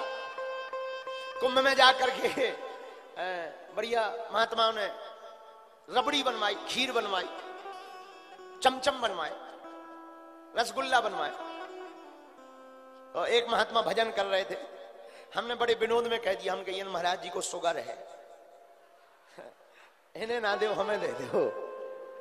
तो उनके लिए भी थाली लगकर आई, हमारे लिए भी आई। तो हमारे बड़े नेपाली बाबा, हमारे बड़े प्रिय नेपाली बाबा तो वो बैठे, माला जप रहे थे। माला, हमने सोचा, ये बोलेंगे नहीं, माला जप रहे हमने कहा, अभी मौका है। तो हमें रसगुल्ला की बड़ी ललक। और जो परोस रहे थे, हमने उनसे कहा, इधर आ इधर आ। हाँ उधर मत ले जाओ। हम क्यों? उनको शुगर है शुगर है। इधर ले आओ। आ रहा हमारा, इतना कहना को उनने माला फेंक के मारी। बोले, कौन कहता हमें शुक्र है? इधर लाओ अरे, हम कि महाराज, नाराज़ ना हो खा लो माला ना फेंको, माला ना फेंको। फिर हमने पूछी, हम की जाप की को कर रहे थे? बोले तुमने सब भुलवा दिया। अब इसे क्या कहोगे? इसे कहोगे क्या? भक्ति? नहीं नहीं, भोजन। ये भक्ति नहीं है। भक्ति का मतलब है, जब भगवान नाम का रस पिए तो किसी की याद ना रहे। परीक्षित जी ने सात दिन तक भगवान की कथा को सुना, अखंड। न भूख की टेंशन, न प्यास की टेंशन, न क्रोध, न मत्सर। न लोभ, न दम्भ, न द्वेष, न पाखंड। सात दिन तक देखो, भगवान की कथा में ही इतना आनंद है। हम लोग दो घंटे से बैठे हैं, न प्यास लग रही, न भूख लग रही, न नींद लग रही। इसी का नाम तो भक्ति है कि भक्ति जब दिल में प्रवेश करती है तो सब अपने आप पूर्ण हो जाता है। और जो दिल से नहीं सुन रहे, उन पे पूछो, कीड़ा सो काट रहा अरे यार, जो बताओ, के बज गए? सात, के बजे लो चले? ठटरी के बारे का तो रोटी बनाऊ ना मेरा कई लोग ऐसे होते कई लोग ऐसे होते हैं, कथा होत के बीच में पाप उठे, अकुलाएँ, या सोवे, या लड़ पड़े या उठ के भग जाएँ भागवत में चार अक्षर, भा, गा, वा, ता। पहला अक्षर कौन सा है? भा। भा से होती है भक्ति। भक्ति कैसी हो? जिसमें दिन ना रात गोविंद की याद बनी रहे, इसी का नाम भक्ति। दूसरा अक्षर क्या है? बोलो। गा। गा से होता है ज्ञान। अज्ञान कैसा ज्ञान ज्ञानी कौन है? हमारे गाँव में एक व्यक्ति ने नई नई एमए करी। उस समय में पढ़ाई की बड़ी कीमत थी। अब तो एमए भी बड़ी सरल हो गई। हमारे जैसे ठलुआ बीए करें बैठे। हाँ, आओ, आओ, आओ। उस जमाने में पढ़ाई का बड़ा महत्व रहता था महाराज जी। तो एक गाँव में, हमारे गाँव में एक व्यक्ति ने नई नई एमए करी एमए गाँव वाले बोले, भाई, बहुत पढ़ा लिखा लड़का है हम नहीं बहुत पढ़ा लिखा जब एमए की छतरपुर हमारा जिला लगता था, उतने वाहन नहीं चलते थे। वो एमए करके छतरपुर से गाँव आया घर वालों ने ढोल नगाड़े बजवाए, टीका लगाया। हमने भी सोचा, दूसरे दिन देखे एमए वाला आदमी होता कैसा है। दूसरे दिन हम भी पहुँच गए। हमने कहा अच्छा जी, सीताराम। हाँ हाँ आओ महाराज पंडित जी पंडित जी आओ आओ, बैठो बैठो। हमने कही हो गई एमए? बोले हाँ। हम कहा, और सुनाओ, एमए में क्या क्या पढ़ा तुम? बोले, सब कुछ सब कुछ सब कुछ। हम कहा, ठीक है। हमने पूछ लिया, छोटा बड़ा सुना। सोई में दो तीन तो छोटा आ अनार का, बड़ा आ आम का छोटी ई इमली की बड़ी ई ईख की और उल्लू भूल गए। अरे हमें बड़ी हँसी आई हम कि तुम एम कर पाए उल्लू के उल्लू ही रहे। इसके आगे तो ये, ये तो विनोद की बात है लेकिन उनसे हमने पूछा कि आपने रघुनाथ जी कितने भाई हैं? राम जी कितने भाई हैं? तो बोले तीन। हम कि एक कहाँ गए? और लोग उसको बड़ा पढ़ा लिखा माने। हमने भी पढ़ा लिखा माना। हम आपको बताना, आपकी भाषा में ये चाह रहे ज्ञानी का मतलब ये नहीं है कि जिसने पीएचडी डीएड बीएड सीए कर लिया तो वो ज्ञानी हो गया। ज्ञानी का मतलब वो यह है, जिसे ये ज्ञान हो जाए, भगवान की कोई सत्ता थी, भगवान की कोई सत्ता है, और परमात्मा की ही कोई सत्ता रहेगी, ऐसा जिसको ज्ञान हो जाए, वही सबसे बड़ा ज्ञान। है तीसरा अक्षर क्या है? तीसरा अक्षर है वा। वा माने होता है? वैराग्य। क्या होता है? अच्छा वैराग्य कैसा? बैरागी बन जाओ। अरे, नहीं नहीं नहीं नहीं। परीक्षित जी ने जैसे ही सुना, सुखदेव जी से बोले, महाराज, आप कहो तो हम बैरागी हो जाएँ। बैरागी का मतलब ये नहीं है, कई लोग बैरागी बन जाते हैं। अब तो हम घर ही नहीं जाते क्यों? हम बैरागी हो गए बैरागी एक महात्मा जी मिले। हमने कहा, पंडित जी महात्मा जी, प्रणाम। बोले, खुश रहो। हमने कहा, बाबा कब बने? अरे, बोले, तीस साल हो गए। तीस साल से घर ही नहीं गए, देखा ही नहीं। हमने कहा, यहाँ बैठे हैं, ये भी तो घर ही है। एक बहुत बड़े अमीर चेला के घर पर बैठे थे। हमने कहा, जहाँ बैठे, ये क्या है? बोले, ये घर है, लेकिन अपना नहीं है। चेला का है। तो हमने बड़ी हंस में हाथ जोड़ करके कहा, हमने कहा, महाराज जी, है तो चेला का, पर है तो घर। और जब अपने घर से ऐसी क्या दुश्मनी जिसमें जन्म लिया, उसमें कह रहे कि हम गए नहीं, ना कभी देखा है, लेकिन दूसरे के घर में घुसत फिर रहे इससे अच्छा तो अपना ही घर है, पर हमारी दृष्टि में बैरागी कौन है? मकान को छोड़ने वाला बैरागी नहीं है, कपड़ों को त्यागने वाला बैरागी नहीं है, सच्चा और अच्छा वही बैरागी है जिसने बुरे कर्मों से बैराग्य धारण कर लिया है। अच्छा चौथा? भागवत का चौथा अक्षर कौन सा है? ता। ता से क्या होता है? ता से होता है त्याग। अच्छा त्याग कैसा हो? कई लोग नए नए बाबा बनते हैं। घर में भाई खटपट चलो गुरुजी के मटपट, गुरुजी ने काटी चोटी, मांग खा बेटा रोटी।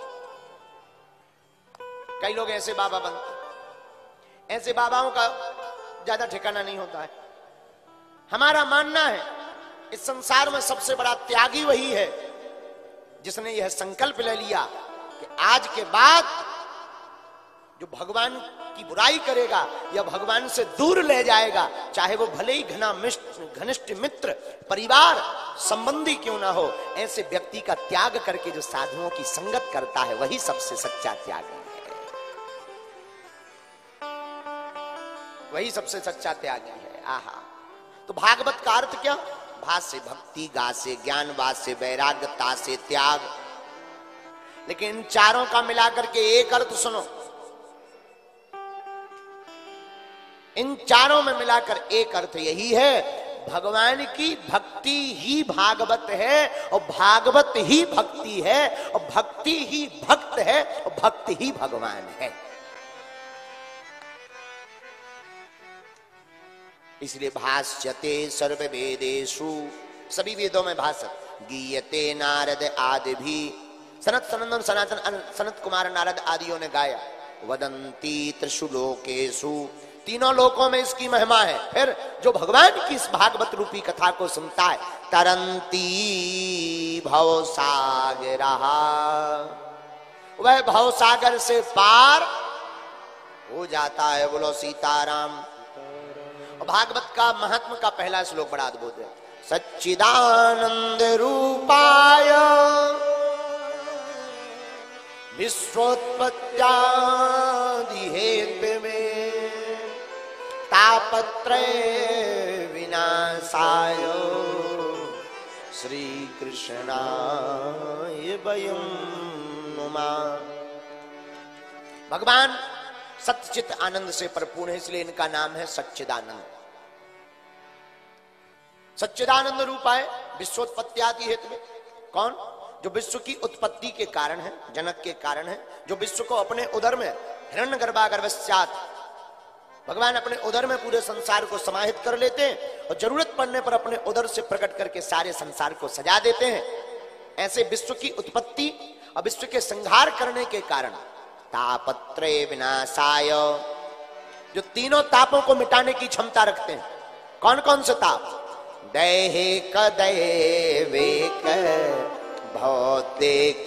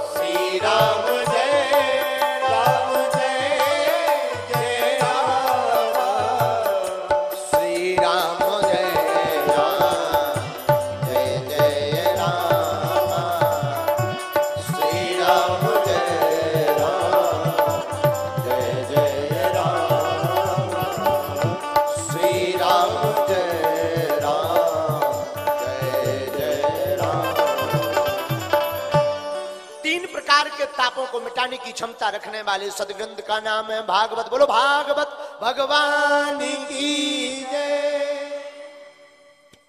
अच्छा ये तीन प्रकार के ताप कौन कौन है?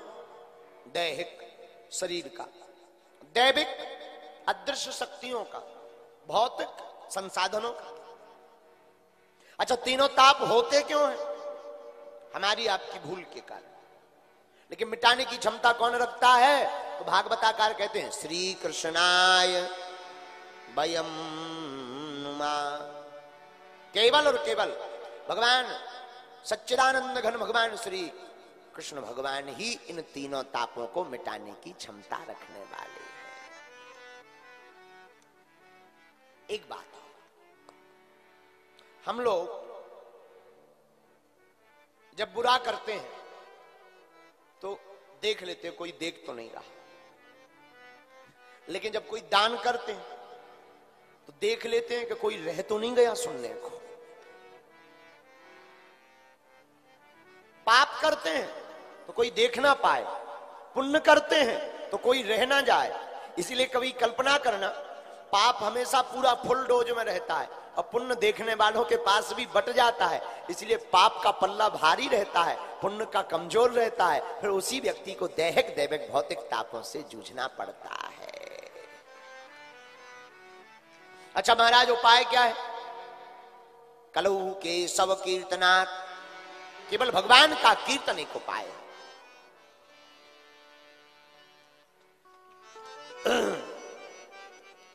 नैमी सारण की पावन भूमि पर सूत जी महाराज सौनकादिक मध्य ऋषियों में श्री सौनक जी प्रधान श्रोता बने हुए हैं और श्री सूत जी महाराज वक्ता बने हैं। सूत जी आयु में छोटे हैं, सौनक ऋषि बड़े हैं, लेकिन आयु की महिमा नहीं है, गुण की महिमा है। जो भगवान के ज़्यादा निकट होता है, पर आयु कुछ भी हो, प्रहलाद ध्रुव जैसे छोटे बालक भी पूज्य हो जाते हैं। आहा सौनकादिक ऋषि, सूत जी महाराज से प्रश्न करते हैं। सूत जी महाराज उत्तर देते महाराज, आगे कलिकाल आने वाला है, घोर कलियुग अंधकार होगा। कोई उपाय है? हाँ उपाय है। क्या? बोले, भागवत रूपी कल्प वृक्ष एक ऐसा उपाय है जो भागवत भगवान की शरण में आ जाएगा। समझना वह गोविंद की ही शरण में आ गया। साक्षात श्री कृष्ण स्वरूपम श्रीमद भागवतम। श्रीमद भागवतम पुराण तिलकम यद वैष्णवा नाम धनम। साक्षात भगवान का ही विग्रह भागवत है। जब भगवान लीला करके जाने लगे तो उद्धव जी ने चरणों को पकड़ा। ठाकुर जी, आप लीला पूर्ण करके जा रहे हो, सो तो ठीक है, लेकिन हमारी आदत तो आपके चरणों से जुड़े रहने की है। आपको देखे बिना हमारी आँखें नहीं रह पाती। आपको सुने बिना हमारे कान तरस जाते हैं। आप चले जाएँगे तो हमारे हृदय की क्या दशा होगी? हम कैसे संभाल पाएँगे? भगवान ने कहा, उद्धव प्यारे, घबराओ मत। हम जा रहे हैं, लेकिन हम अपना तेज श्रीमद भागवत रूपी ग्रंथ में रखकर जाते हैं। जो भागवत की शरण में आ जाएगा, वो हमारी ही शरण में होगा, ऐसा अनुभव से प्रतीत होगा। आहा। और जब श्री सुखदेव जी राजा परीक्षित को कथा सुनाने लगे तो देवता अमृत का कलश लेकर आए। महाराज, ये अमृत का कलश है। परीक्षित जी को श्राप है कि सातवें दिन सांप काटेगा, नाग काटेगा, मर जाएँगे। तक्षक नामा एक काम करो, भागवत कथा हमें सुना दो कि अमृत परीक्षित जी को पिला दो। सुखदेव जी बोले, राजा से पूछो। परीक्षित जी बोले, महाराज हम अमृत तो पी लेंगे, पर ये बताओ फ़ायदा किसमें है? फ़ायदे का सौदा बताओ। आहा, हा। सुखदेव जी बोलो, सुनो राजन। सुखदेव जी बोले, राजा, पीना दोनों को है। अमृत को मुख से पीना पड़ता है, लेकिन कथा अमृत को कानों से पीना पड़ता है। लेकिन अंतर है, क्या? अमृत को पियोगे तो मरोगे नहीं, ये बात तय है। परंतु मृत्यु का भय नहीं जाएगा, दुख सताते रहेंगे, लेकिन कथा अमृत का पान करोगे तो जीते जी जी जाओगे, अमर हो जाओगे, नाम भी रोशन हो जाएगा, और भगवान के चरण भी मिल जाएँगे। राम का नाम लेकर जो मर जाएँगे, वो अमर नाम दुनिया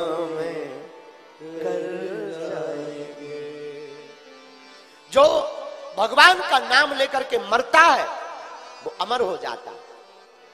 हमारे तुलसीदास जी कहते हैं, तुलसी जब तू आया जगत में, जग हंसा तू रोए, और कुछ करनी ऐसी कर चलो तू हंसे जग रोए। कुछ ऐसा काम करके मरना कि जब तुम मरो तो लोग वालों, संसार वालों की आँखों में आँसू हो कि एक सहिंसा है। हमारे बीच का एक बहुत अच्छा आदमी चला गया। अब वो काम, अब वो नाम कैसे हो सकता? राम का नाम ले कर जो मर जाएँगे, राम का नाम लेकर जो हाँ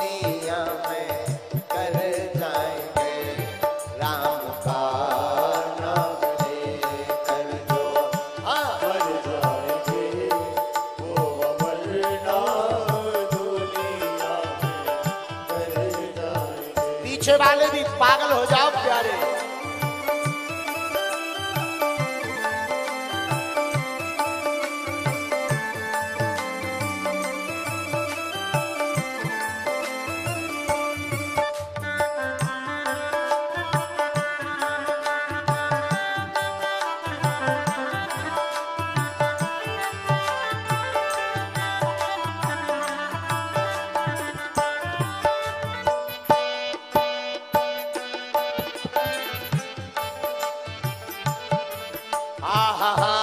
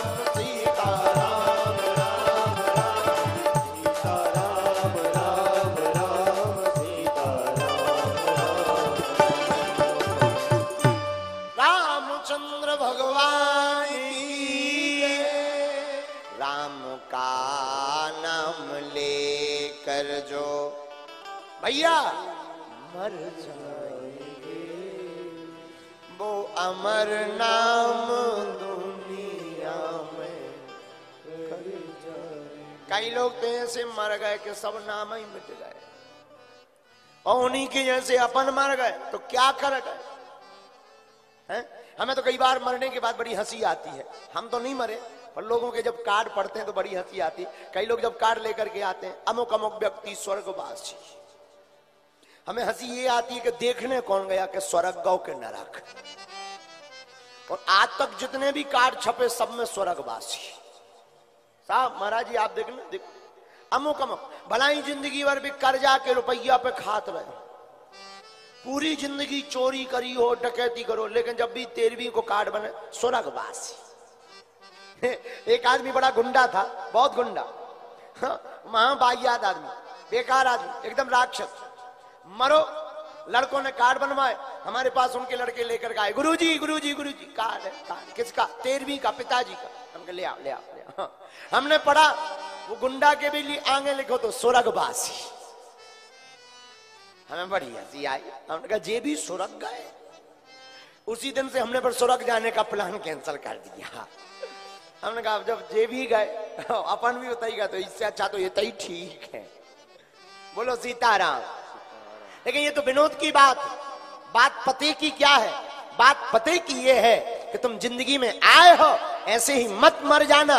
मरना तो प्रभु का नाम लेकर मरना, ताकि संसार में कहें कि एक हमारे बीच का भक्त चला गया है। मस्तराम मुर्दों से बोले, हमको कुछ बतलाओगे? मुर्दों में से एक मुर्दा बोला, मर जाओ सो पाओगे।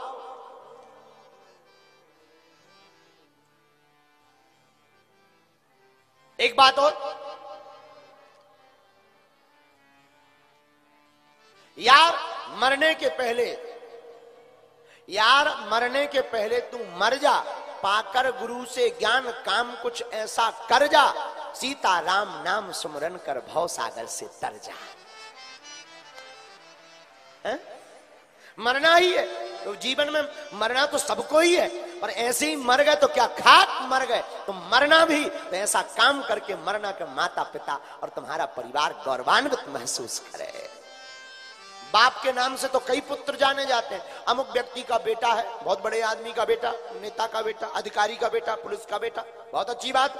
बाप के नाम से तो कई पुत्रों को जाना जाता है। अब वो पुत्र किसी काम का नहीं, जो बाप के नाम से जाना जाए। बेटा तो वही काम का है, जो बेटे के नाम से बाप को जाना है नाम ऐसा कमाओ, यश और कीर्ति ऐसी पाओ, कि व्यक्ति बोले, ये अमुक व्यक्ति के पिताजी वो जो लड़का है ना, उनके ये पिताजी।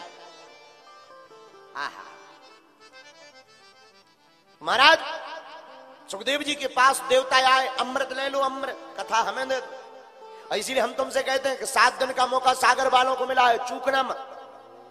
बार बार मौका नहीं मिलता है। अब चूक गए तो फिर क्या पता कब ठिकाने लगोगे? सात दिन की भागवत। जब तक रहेगी ज़िंदगी, फुर्सत ना मिलेगी काम से, कुछ वक्त ऐसा निकालो, आओ प्रेम करें घनश्याम से। है? प्रेम तो मिलने ही नहीं है, लेकिन सात दिन का मौका निकाल कर ज़रूर बैठना। क्या ठिकाना? अगली कथा कभी हमारी ज़िंदगी में हो पाए या ना हो पाए, इसलिए सात दिन हमारी ज़िंदगी के खूबसूरत हो जाने चाहिए और प्रभु के नाम में रंग जाना चाहिए। परीक्षित जी, बताओ, अमृत पियोगे कि कथा अमृत? फ़ायदा किसमें है बोले, देखो, अमृत पियोगे मरोगे नहीं, पर मरने का भय नहीं जाएगा, दुख लगा रहेगा। कथा अमृत पियोगे तो दो फ़ायदे क्या? जीते जी मुक्त हो जाओगे। एक बात और विद्वान बैठे हैं। सभी विद्वानों के सामने चरणों में हम निवेदन करें। कई लोग कहते, महाराज, ऐसी कृपा करो कि मरने के बाद मोक्ष मिले। हमें बड़ी हँसी आती मरने के बाद मोक्ष मिला भी कि नहीं, ये देखने कौन जाएगा? हमारा मानना है मरने के बाद नहीं, जीते जी मुक्त हो जाओ, इसी का नाम मोक्ष है। कामनाओं से मुक्त, वासनाओं से मुक्ति, ईर्षा, मत्सर, सम्मान पाना, लोभ दम्भ द्वेष, इनसे मुक्ति पाना ही तो मोक्ष है। लेकिन मरने के बाद जीते जी, जब तक ज़िंदा है, उसी जीते जी आप मोक्ष को प्राप्त करने का प्रयत्न करो और मोक्ष की प्राप्ति जीते जी तभी संभव है जब हम गोविंद की कथा सुनेंगे और हमारा मन गोविंद के चरणों में लगेगा तो संसार से मन अपने आप हट जाएगा। क्वा क्वा सुधा, क्वा कथा लोके, क्वा कांचः क्वा मणिर्महा। कहा कथा कथा, कहा अमृत अरे कहा मणि? कहा कांच? कांच की, कांच चमकदार मणि के जैसा ज़रूर दिखाई पड़ता है। और जो काम मणि कर सकती है, वो कांच नहीं कर सकता। उसी प्रकार अमृत। कथा अमृत के समान दिखाई पड़ता है, पर जो काम कथा कर देती है, वो अमृत नहीं करता। अमृत तो सिर्फ़ मरने नहीं देता, लेकिन कथा अमृत तो मरने भी नहीं देती, और साहब, कथा वृथा भी मिटाती है, और भाव सागर से पार भी कराती है। इसलिए कथा की बड़ी महिमा। हनुमान जी से राम जी ने कहा, हनुमान जी, चलो। हम भी जा रहे, तुम भी चलो। कहा? जहाँ हम जा रहे। हनुमान जी हाथ जोड़ के बोले, सरकार, आप रहते कहा? बोले, साकेत में। हनुमान जी हाथ जोड़ के बोले, वहाँ कथा मिलेगी? राम जी बोले, वहाँ कथा नहीं, वहाँ तो हम ही मिलेंगे। हनुमान जी बोले, फिर तो जाना, कैंसल है। हमारी फ़्लाइट की टिकट कटवाओ, वापस करो। कैंसल करो। राम जी बोले, क्यों? हनुमान जी बोले हमें यहीं रहना है। बोले, क्यों? बोले, हम यहाँ रहेंगे तो आपकी कथा भी मिलेगी, और आपकी जब कथा होगी तो आप भी आओगे तो आप भी मिल जाओगे, दोनों दो दो दो लाभ हो जाएँगे। इसीलिए तो हनुमान जी प्रभु चरित्र सुनबे को रसिया, राम लखन सीता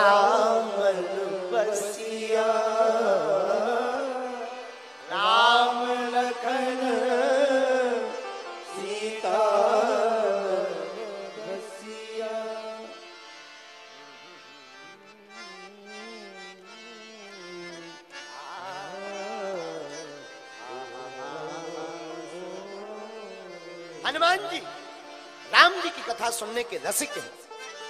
बोले, क्यों? ऐसे समझो। हम लोग कितने घंटा से बैठे? तीन। हाँ जी या ना जी? बताओ, किसी को अपना कर्जा याद आया? है?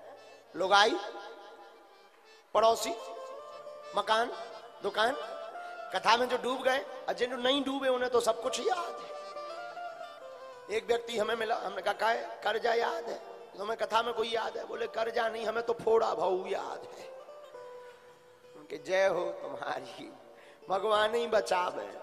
अब जो कथा में नहीं बैठे, उन्हें तो संसार का फोड़ा घाव दर्द करेगा ही करेगा, लेकिन जो कथा में डूब जाते हैं, उसे पर संसार का भान नहीं रहता है।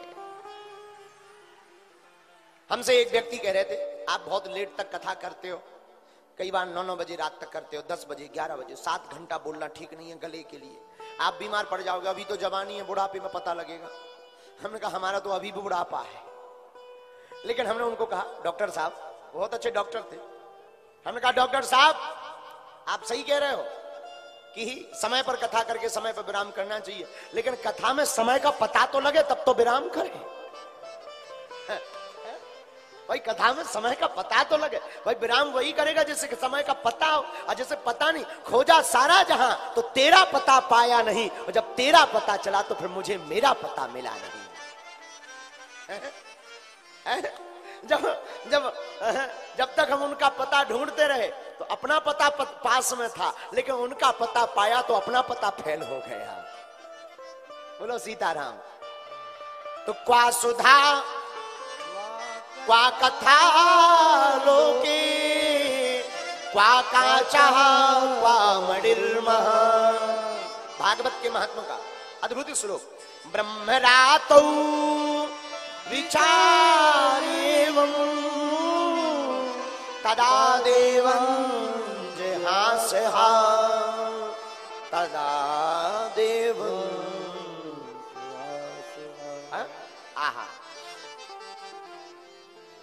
परीक्षित जी तो क्या पियोगे? अमृत की कथा। महाराज, हम तो कथा अमृत पान करेंगे। बोलो, सीताराम। देवता जी ब्रह्मा देवता साहब ब्रह्मा जी के पास गए। महाराज, हम कथा लेने गए थे, हमको ठुकरा दिया, अमृत भी वापस कर दिया। बताओ, ऐसा क्या है भागवत में? ब्रह्मा जी बोले, सात दिन में देख लो परीक्षित जी का क्या हाल होता है परीक्षित जी का। देखा कि सातवें दिन परीक्षित जी महाराज, मुक्त हो गए। हो, जय हो महाराज। फिर क्या कहना?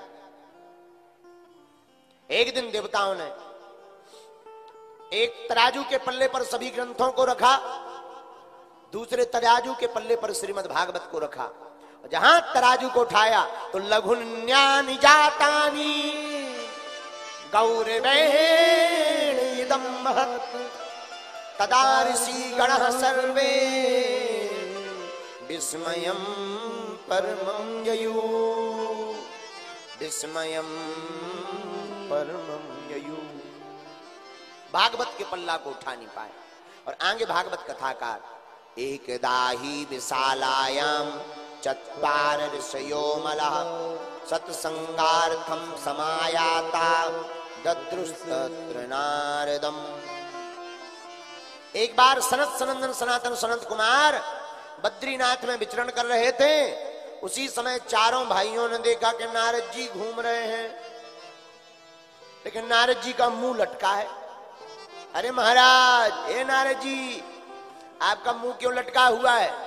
कथम ब्रह्मन दीन मुखा, कुतश्चिंता तुरो भवान। आपका मुख क्यों लटका है? महात्माओं का अगर मुँह लटका होगा तो गृहस्थियों का क्या हाल होगा? महात्माओं को तो मुस्कुराता हुआ रहना चाहिए। बोलो, सीताराम, कैसा रहना चाहिए? मुस्कुराता हुआ। क्यों? क्योंकि तो महात्माओं को कोई टेंशन ही नहीं। टेंशन तो गृहस्थियों को होता है। लुगाई लड़का घर बाल द्वार, मकान बिज़नेस व्यापार। महात्माओं को क्या टेंशन है? ना, न आगे, न पीछे। जय जय सीताराम। मिल गो सो जय घनश्याम, ना मिलो सो जय हनुमान। हाँ। हाँ? मिल गो सो जय घनश्याम, छप्पन भोग। नहीं मिलो सो जय हनुमान, सफ़र चक। क्या टेंशन है? टेंशन किसको? गृहस्थियों को। या बच्चे हैं, पढ़ाई है, लुगाई है, झंझट है। अब उनको बड़ी टेंशन है। तो नारद जी से चारों भाइयों ने कहा, महाराज, आप ही अगर मुँह लटकाए घूमोगे तो गृहस्थी तो बेचारे हार्ट अटैक में ही मर जाएँगे। आप मुँह मत लटकाओ। ये मुँह लटकाए क्यों खड़े हो? बात भी सही है। संतों का धन कोई संपत्ति नहीं होती। संपत्ति तो संतों की एक ही होती। हमारो धन राधा, श्री राधा श्री राधा।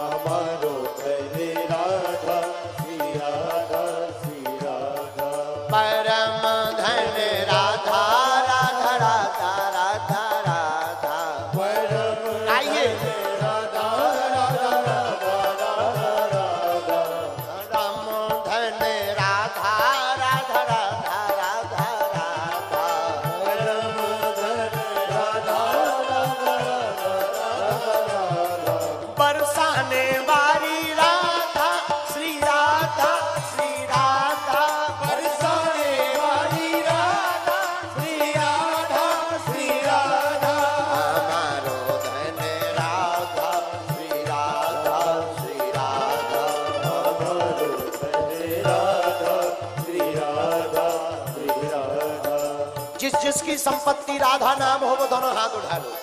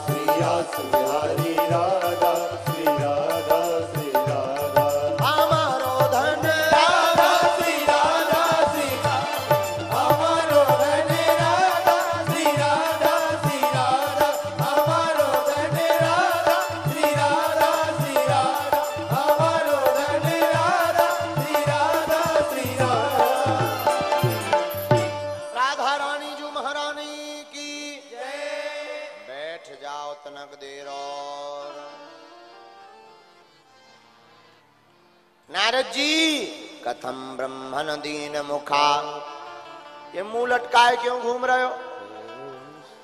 संतों का धन तो राधा नाम है।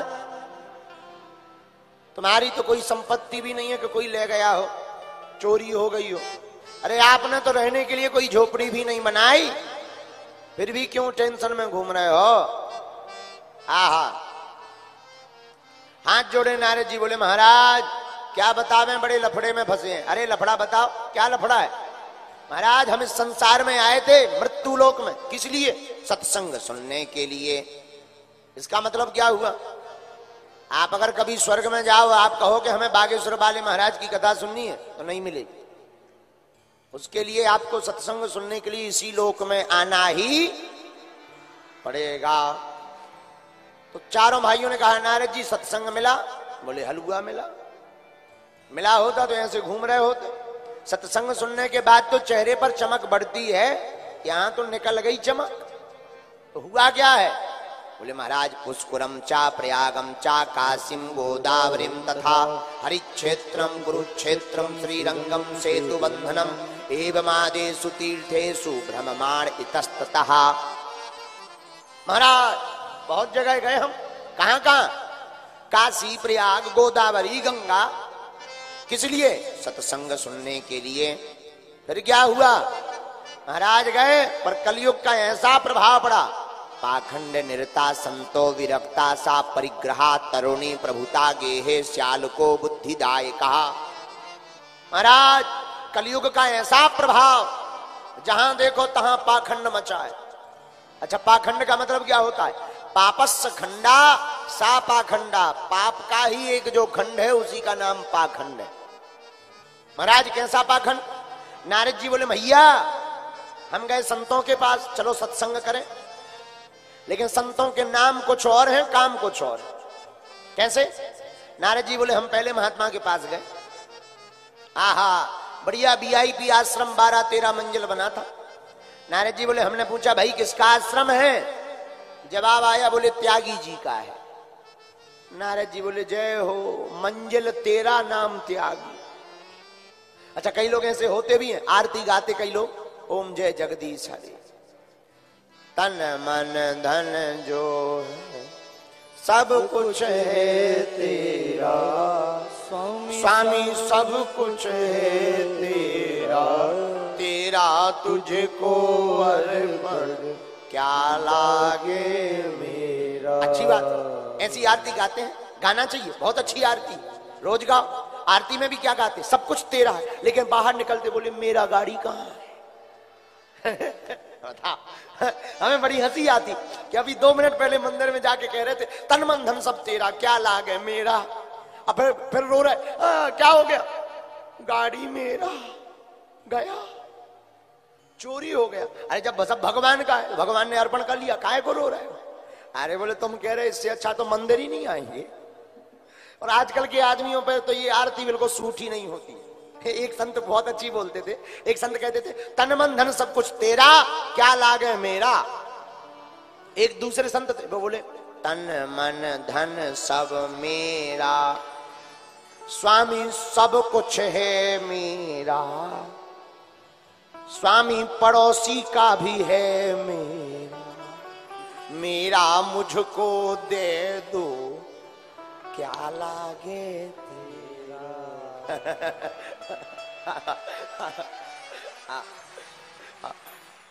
खैर, ये सागर के लोगों के लिए नहीं है। लेकिन आज के लोग ऐसे हैं। पहले के जमाने में तो कहते, जो कुछ है सब तेरा है प्रभु। लेकिन आज के लोग कहते, पड़ोसी का भी है हे प्रभु, मेरा मुझको दे दो। क्या लागे तेरा? बोलो, सीताराम। ज़ोर से बोलो। तो नारे जी बोले, महाराज, हम गए संतों के पास सत्संग सुनने। संतों में हमने पूछा, मंजिल कितने? तेरा तेरा मंजिल पे। तेरा मंजिल का आश्रम, नाम पूछा किसका? बोले, त्यागी महाराज का। नारद जी बोले, जय हो, दूसरी जगह चलो। नारद जी बोले, भैया, दूसरी जगह गए? आहा, बहुत अच्छी जगह अच्छा आश्रम। बारह, तेरह छोटे छोटे बच्चे बढ़िया तिलक लगाए यज्ञोपवीत धारण किए, राम राम राम राम राम राम, बढ़िया श्लोक बोल रहे थे। नारद जी बोले, हमें लगा किसी विद्यालय में आ गए कोई अच्छे महात्मा रहते हमने पूछा, किसका आश्रम है? बोले, ब्रह्मचारी जी का। बोले, ये बच्चे किसके हैं? बोले, ये भी ब्रह्मचारी जी के हैं। नारद जी बोले, जय हो, नाम ब्रह्मचारी जी पूरी क्रिकेट टीम तैयार। नारद जी बोले, यहाँ भी टिकना ठीक नहीं है। नारद जी बोले, तीसरी जगह गए। महाराज, तीसरी जगह गए, चालीस पचास भगवा रंग के कपड़े सूख रहे थे। चारों भाई बोले, फिर क्या हुआ? नारद जी बोले, महाराज, हमने पूछा, किसका आश्रम है? बोले, नागा बाबा जी का। और ये कपड़े किसके हैं? बोले, ये भी नागा बाबा जी के हैं। नारद जी बोले, जय हो जय हो। नारद जी समझ गए, यहाँ पर भी सत्संग होने वाला नहीं है। तो सनत कुमारों ने कहा, नारद जी, गृहस्थियों के पास जाते। अरे बोले, महाराज, संतों की तो छोड़ो, गृहस्थियों की हालत तो और बेकार है।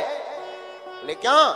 पापस खंडा पाखंड निरता संतो विरक्ता सा परिग्रहा तरुणी प्रभुता गेहे श्याल गो बुद्धिदायका कन्या विक्रयणो लोभात दंपति नाम च कलकनम।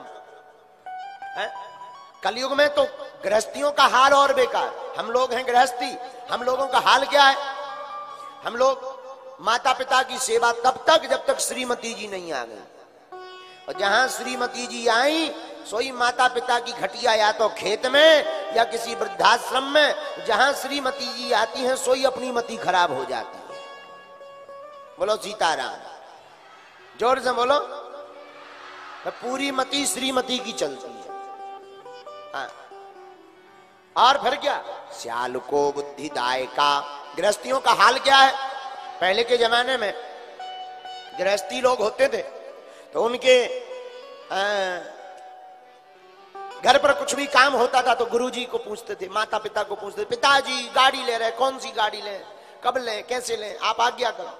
अब आज के जमाने में माता पिता गुरुजी से नहीं पूछा जाता नहीं। सियाल को सियाल को का मतलब साले साहब। स्पेशल फ़ोन ससुराल में साले साहब को लगाया जाता। हेलो!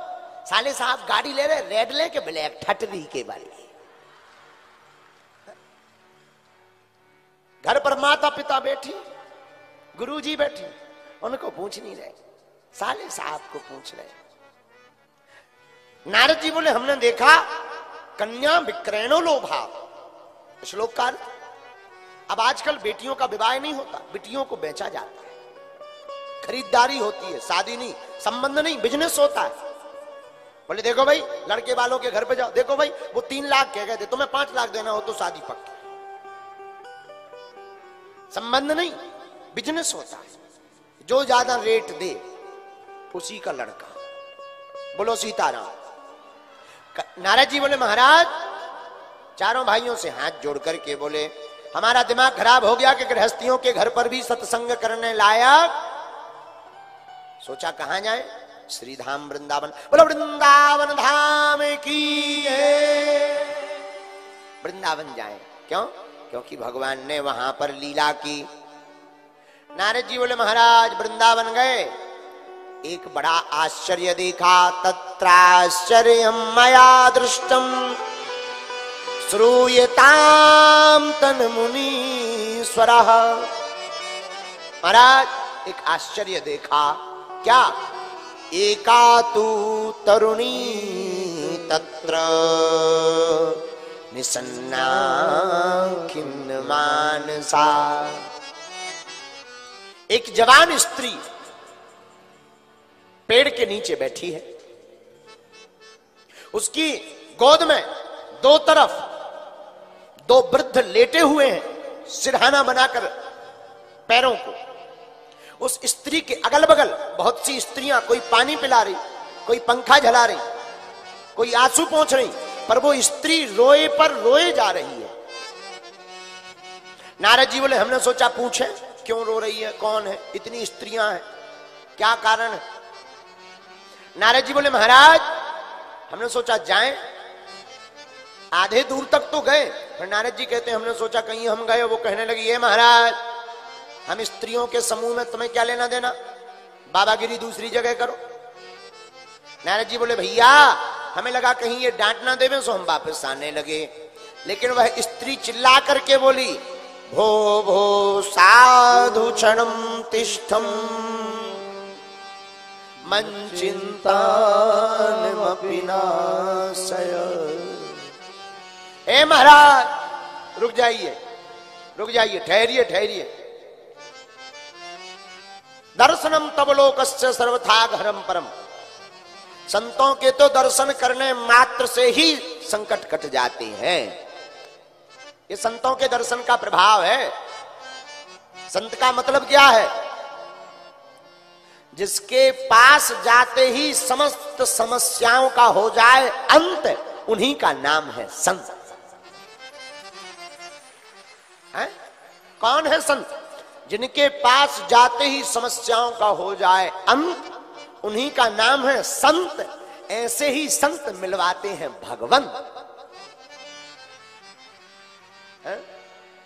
लेकिन केवल ऐसे ही संत नहीं होते, कुछ ऐसे भी होते हैं। कहा माया मोह में पड़े? धन तो सब माया है, हमारे आश्रम पर चढ़ा जा। हाँ ऐसे भी संत होते हैं। फिर क्या? चेला खाली, गुरु फुल। बोलो सीताराम। ज़ोर से बोलो। अब देखो भाई हम देखो साफ़ साफ़ कह देते हमें हमें ज़्यादा लाग लपेट की बात नहीं आती है। लालची गुरु लोभी चेला चले नरक में ठेलम ठेला। हाँ, हाँ, हाँ, पता चलो जजमान और गुरु दोनों नरक में मिले। वे देख अरे गुरु तुम भी नरक में नरक में। और गुरु जी भी कहते चेला आते हैं तो बड़ो दानी बनो तो बड़ी भागवत करवाओ तो बागेश्वर महाराज की तुम भी नरक में। होता क्यों है ऐसा? लालची हो, गुरु, लोभी हो। एक एक बहुत अच्छी बात है। कुरान हम बढ़ते हैं, कथा पूरी करते हैं विराम करते हैं। महाराज जी, पूज्य किरबना वाले महाराज जी बैठे, मौनी बाबा जी। एक पत्रकार कह रहे थे, इतनी भागवत हो रही बात भी सही है, इस साल तो सही में ज़्यादा हो रही हमें लगा चुनाव की साल है।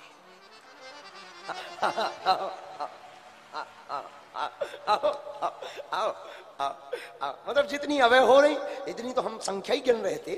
हम कि भगवान की इतनी लैंडिंग हो रही वर्तमान में। भगवान भी हैरान हुए कि इतनो धर्म। तो हम एक पत्रकार पे कह रहे थे, हमने कहा, पाँच छह महीना बाद कम हो जाएगा। जहाँ आचार संहिता लगी वो बड़े हंसे। तो हाँ वो हम पूरी बात बता रहे थे।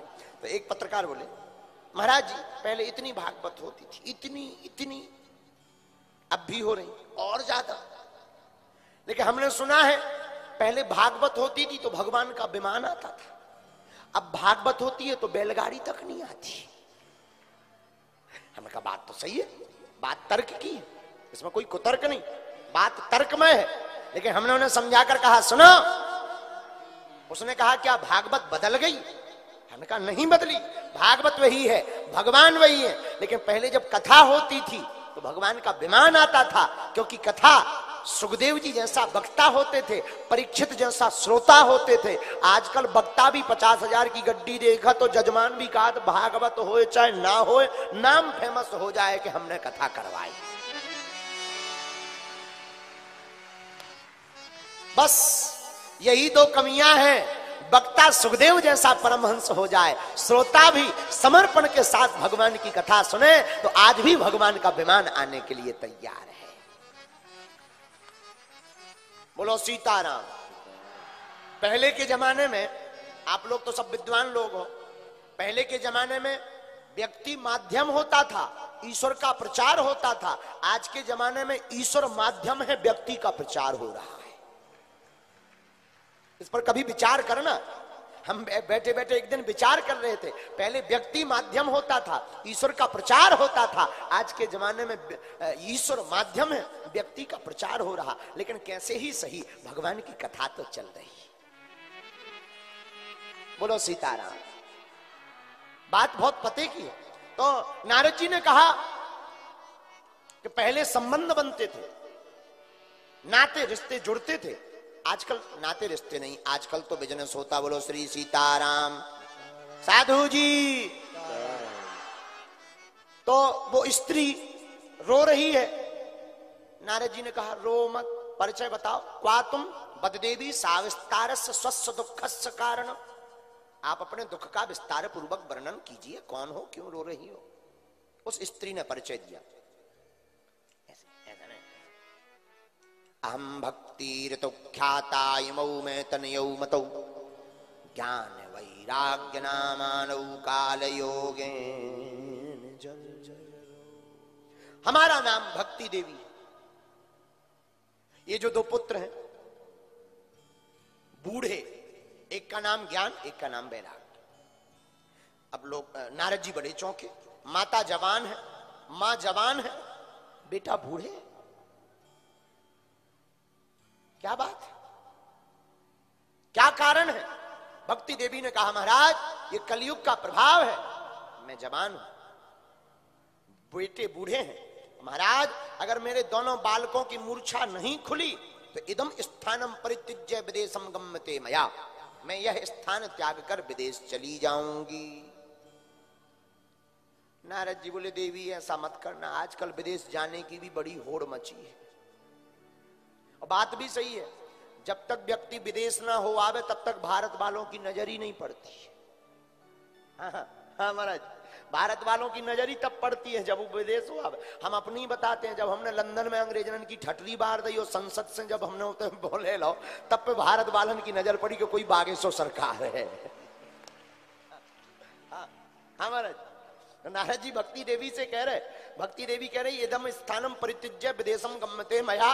तो नारद जी हाथ जोड़ के कहते, देवी जी, तुम ही अगर विदेश चली जाओगी, भक्ति ही भारत से अगर विदेश चली जाएगी तो फिर विदेश भारत का क्या होगा? तुम मत जाओ। महाराज, पर हमारे दोनों बेटे नारद जी बोले, हम कोई उपाय करते हैं। नारद जी ने बहुत उपाय किया। गीता पाठर मुहर मुहर परंतु ज्ञान और वैराग्य की मूर्छा अवस्था नहीं खुली। आहा। फिर क्या? आकाशवाणी हुई। नारद जी, आप एक काम करो। क्या? आप सत्कर्म करो। सत्कर्म करने से ज्ञान और वैराग्य की मूर्छा अवस्था खुलेगी। अब नारद जी बोले, सत्कर्म तो बता दिया, पर कौन सा कर्म? जो तो बताओ। सत्कर्म है क्या? आकाशवाणी बंद हो गई। उसी को ढूँढने के लिए नारद जी बोले, हम जगह जगह भटक रहे सनत सनंदन सनातन सनत कुमार बोले, नारद जी, टेंशन मत लो, वो सत्कर्म कोई और नहीं। ज्ञान और वैराग्य की मूर्छा अवस्था श्रीमद भागवत कथा रूपी सत्कर्म से ही दूर हो जाएगी। फिर क्या? हरिद्वार में गंगा के किनारे चारों कुमारों ने भागवत कथा शुरू की और जहाँ भागवत के श्लोक गाए, सोई ज्ञान और- वैराग्य जाग गए और ताता थैया करके भागवत कथा में आकर नाचने लगे। यह प्रत्यक्ष प्रभाव श्री भागवत भगवान का। बोलो, भागवत भगवान की। बाद में धुंधकारी और गोकर्ण की कथा आई। आतताई है। माता पिता को दंडित किया। धुंधकारी ने बाद में बेश्याओं के कारण वो मारा गया और आत्मदेव ब्राह्मण को मोक्ष प्राप्त हुआ। इस कथा की चर्चा और शेष चर्चा हम कल करेंगे। आज पहला दिन था। भगवान की कृपा से बहुत अच्छी कथा यहाँ पर हो गई है। और सात दिन तक अब हम एक सूत्र के साथ कथा को आगे बढ़ाएँगे। तो कल कौन कौन नहीं आएगा? हाथ उठाओ।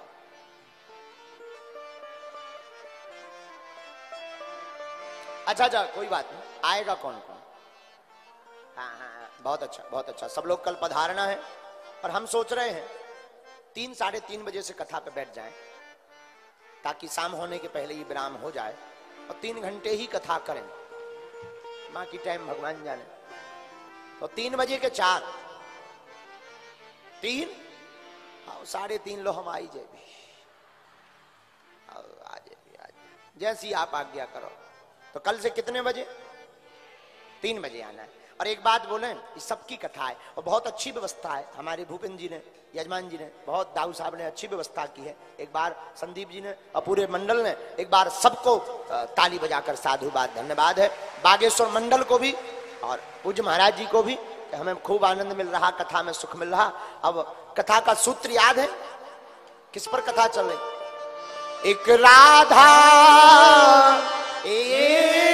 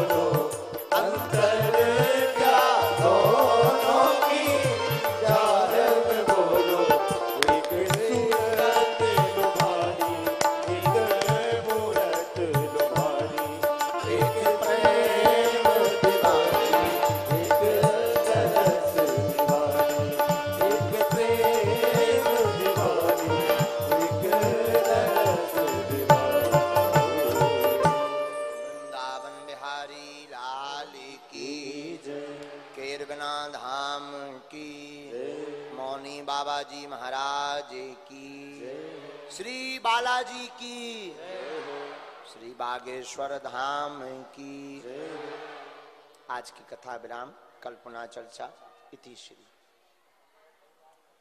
हाँ आरती के लिए बुलाइए। यजमान जी आ जाइए ऊपर। यजमान परिवार आरती के लिए ऊपर मंच पर आ जाए और कुछ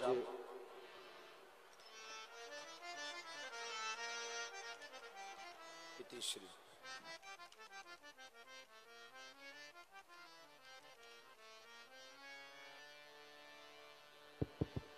सीताराम।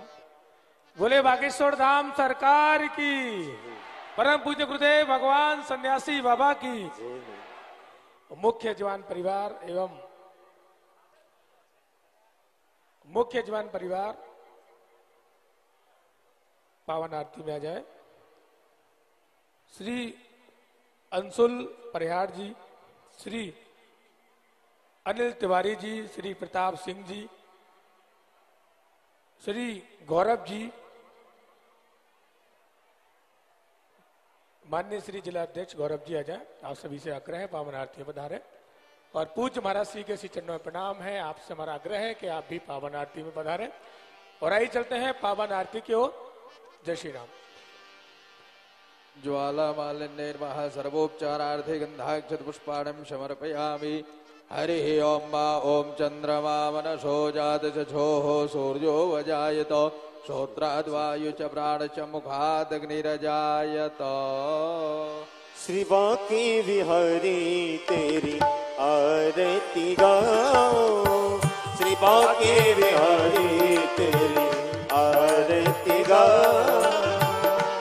आरती गाओ।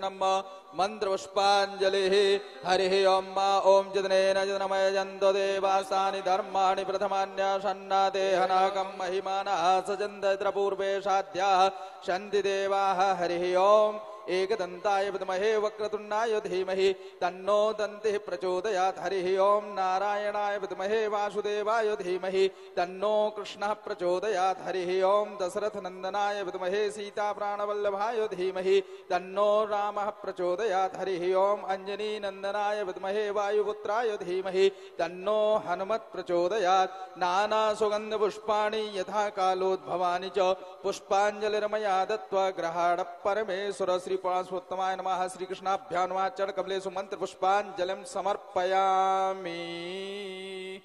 बोलो श्रीमद् भागवत महापुराण की बोलो बागेश्वर धाम सरकार की। नमः पार्वती पतये। हर हर महादेव। सभी भक्तों से निवेदन है जिनका आशीर्वाद हो चुका है वो सभी प्रणाम करके और मंच से नीचे से ही प्रणाम करके और शीघ्र ही सब लोग नीचे चले जाएँ। सभी से निवेदन है भक्तों से, प्रणाम करके सभी लोग। श्री सीताराम। सीताराम।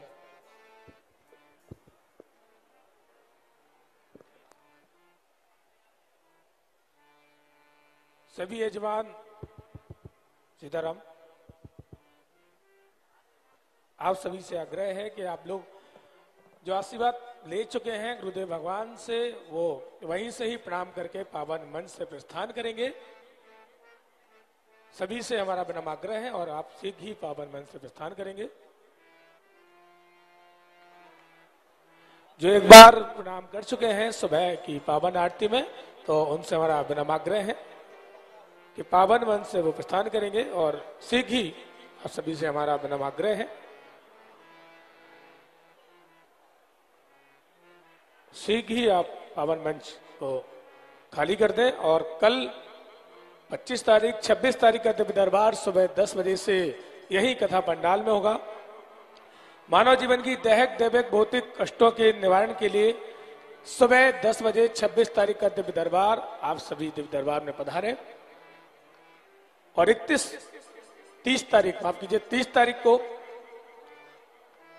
सदगुरुदेव भगवान की दीक्षा प्राप्त करना चाहते हैं, जो भी भक्त लोग, वो कार्यालय में संपर्क कर सकते हैं, अपना नाम दर्ज करा सकते हैं। 30 तारीख को सुबह 10 बजे से दीक्षा यहीं कथा पंडाल में होगी तो अपना नाम दर्ज करा सकते हैं। और आप सभी से पुनः विनम आग्रह है कि पावन मंच को खाली कर दे। जय श्री राम।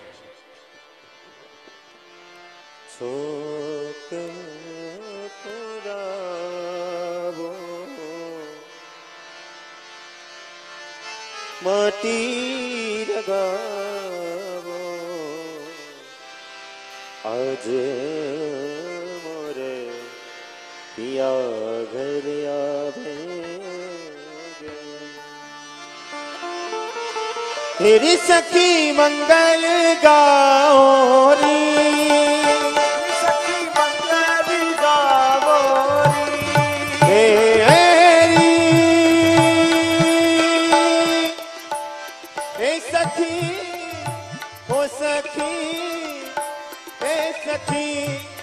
तेरी सखी मंगल गाओरी तेरी सखी मंगल गाओरी धरती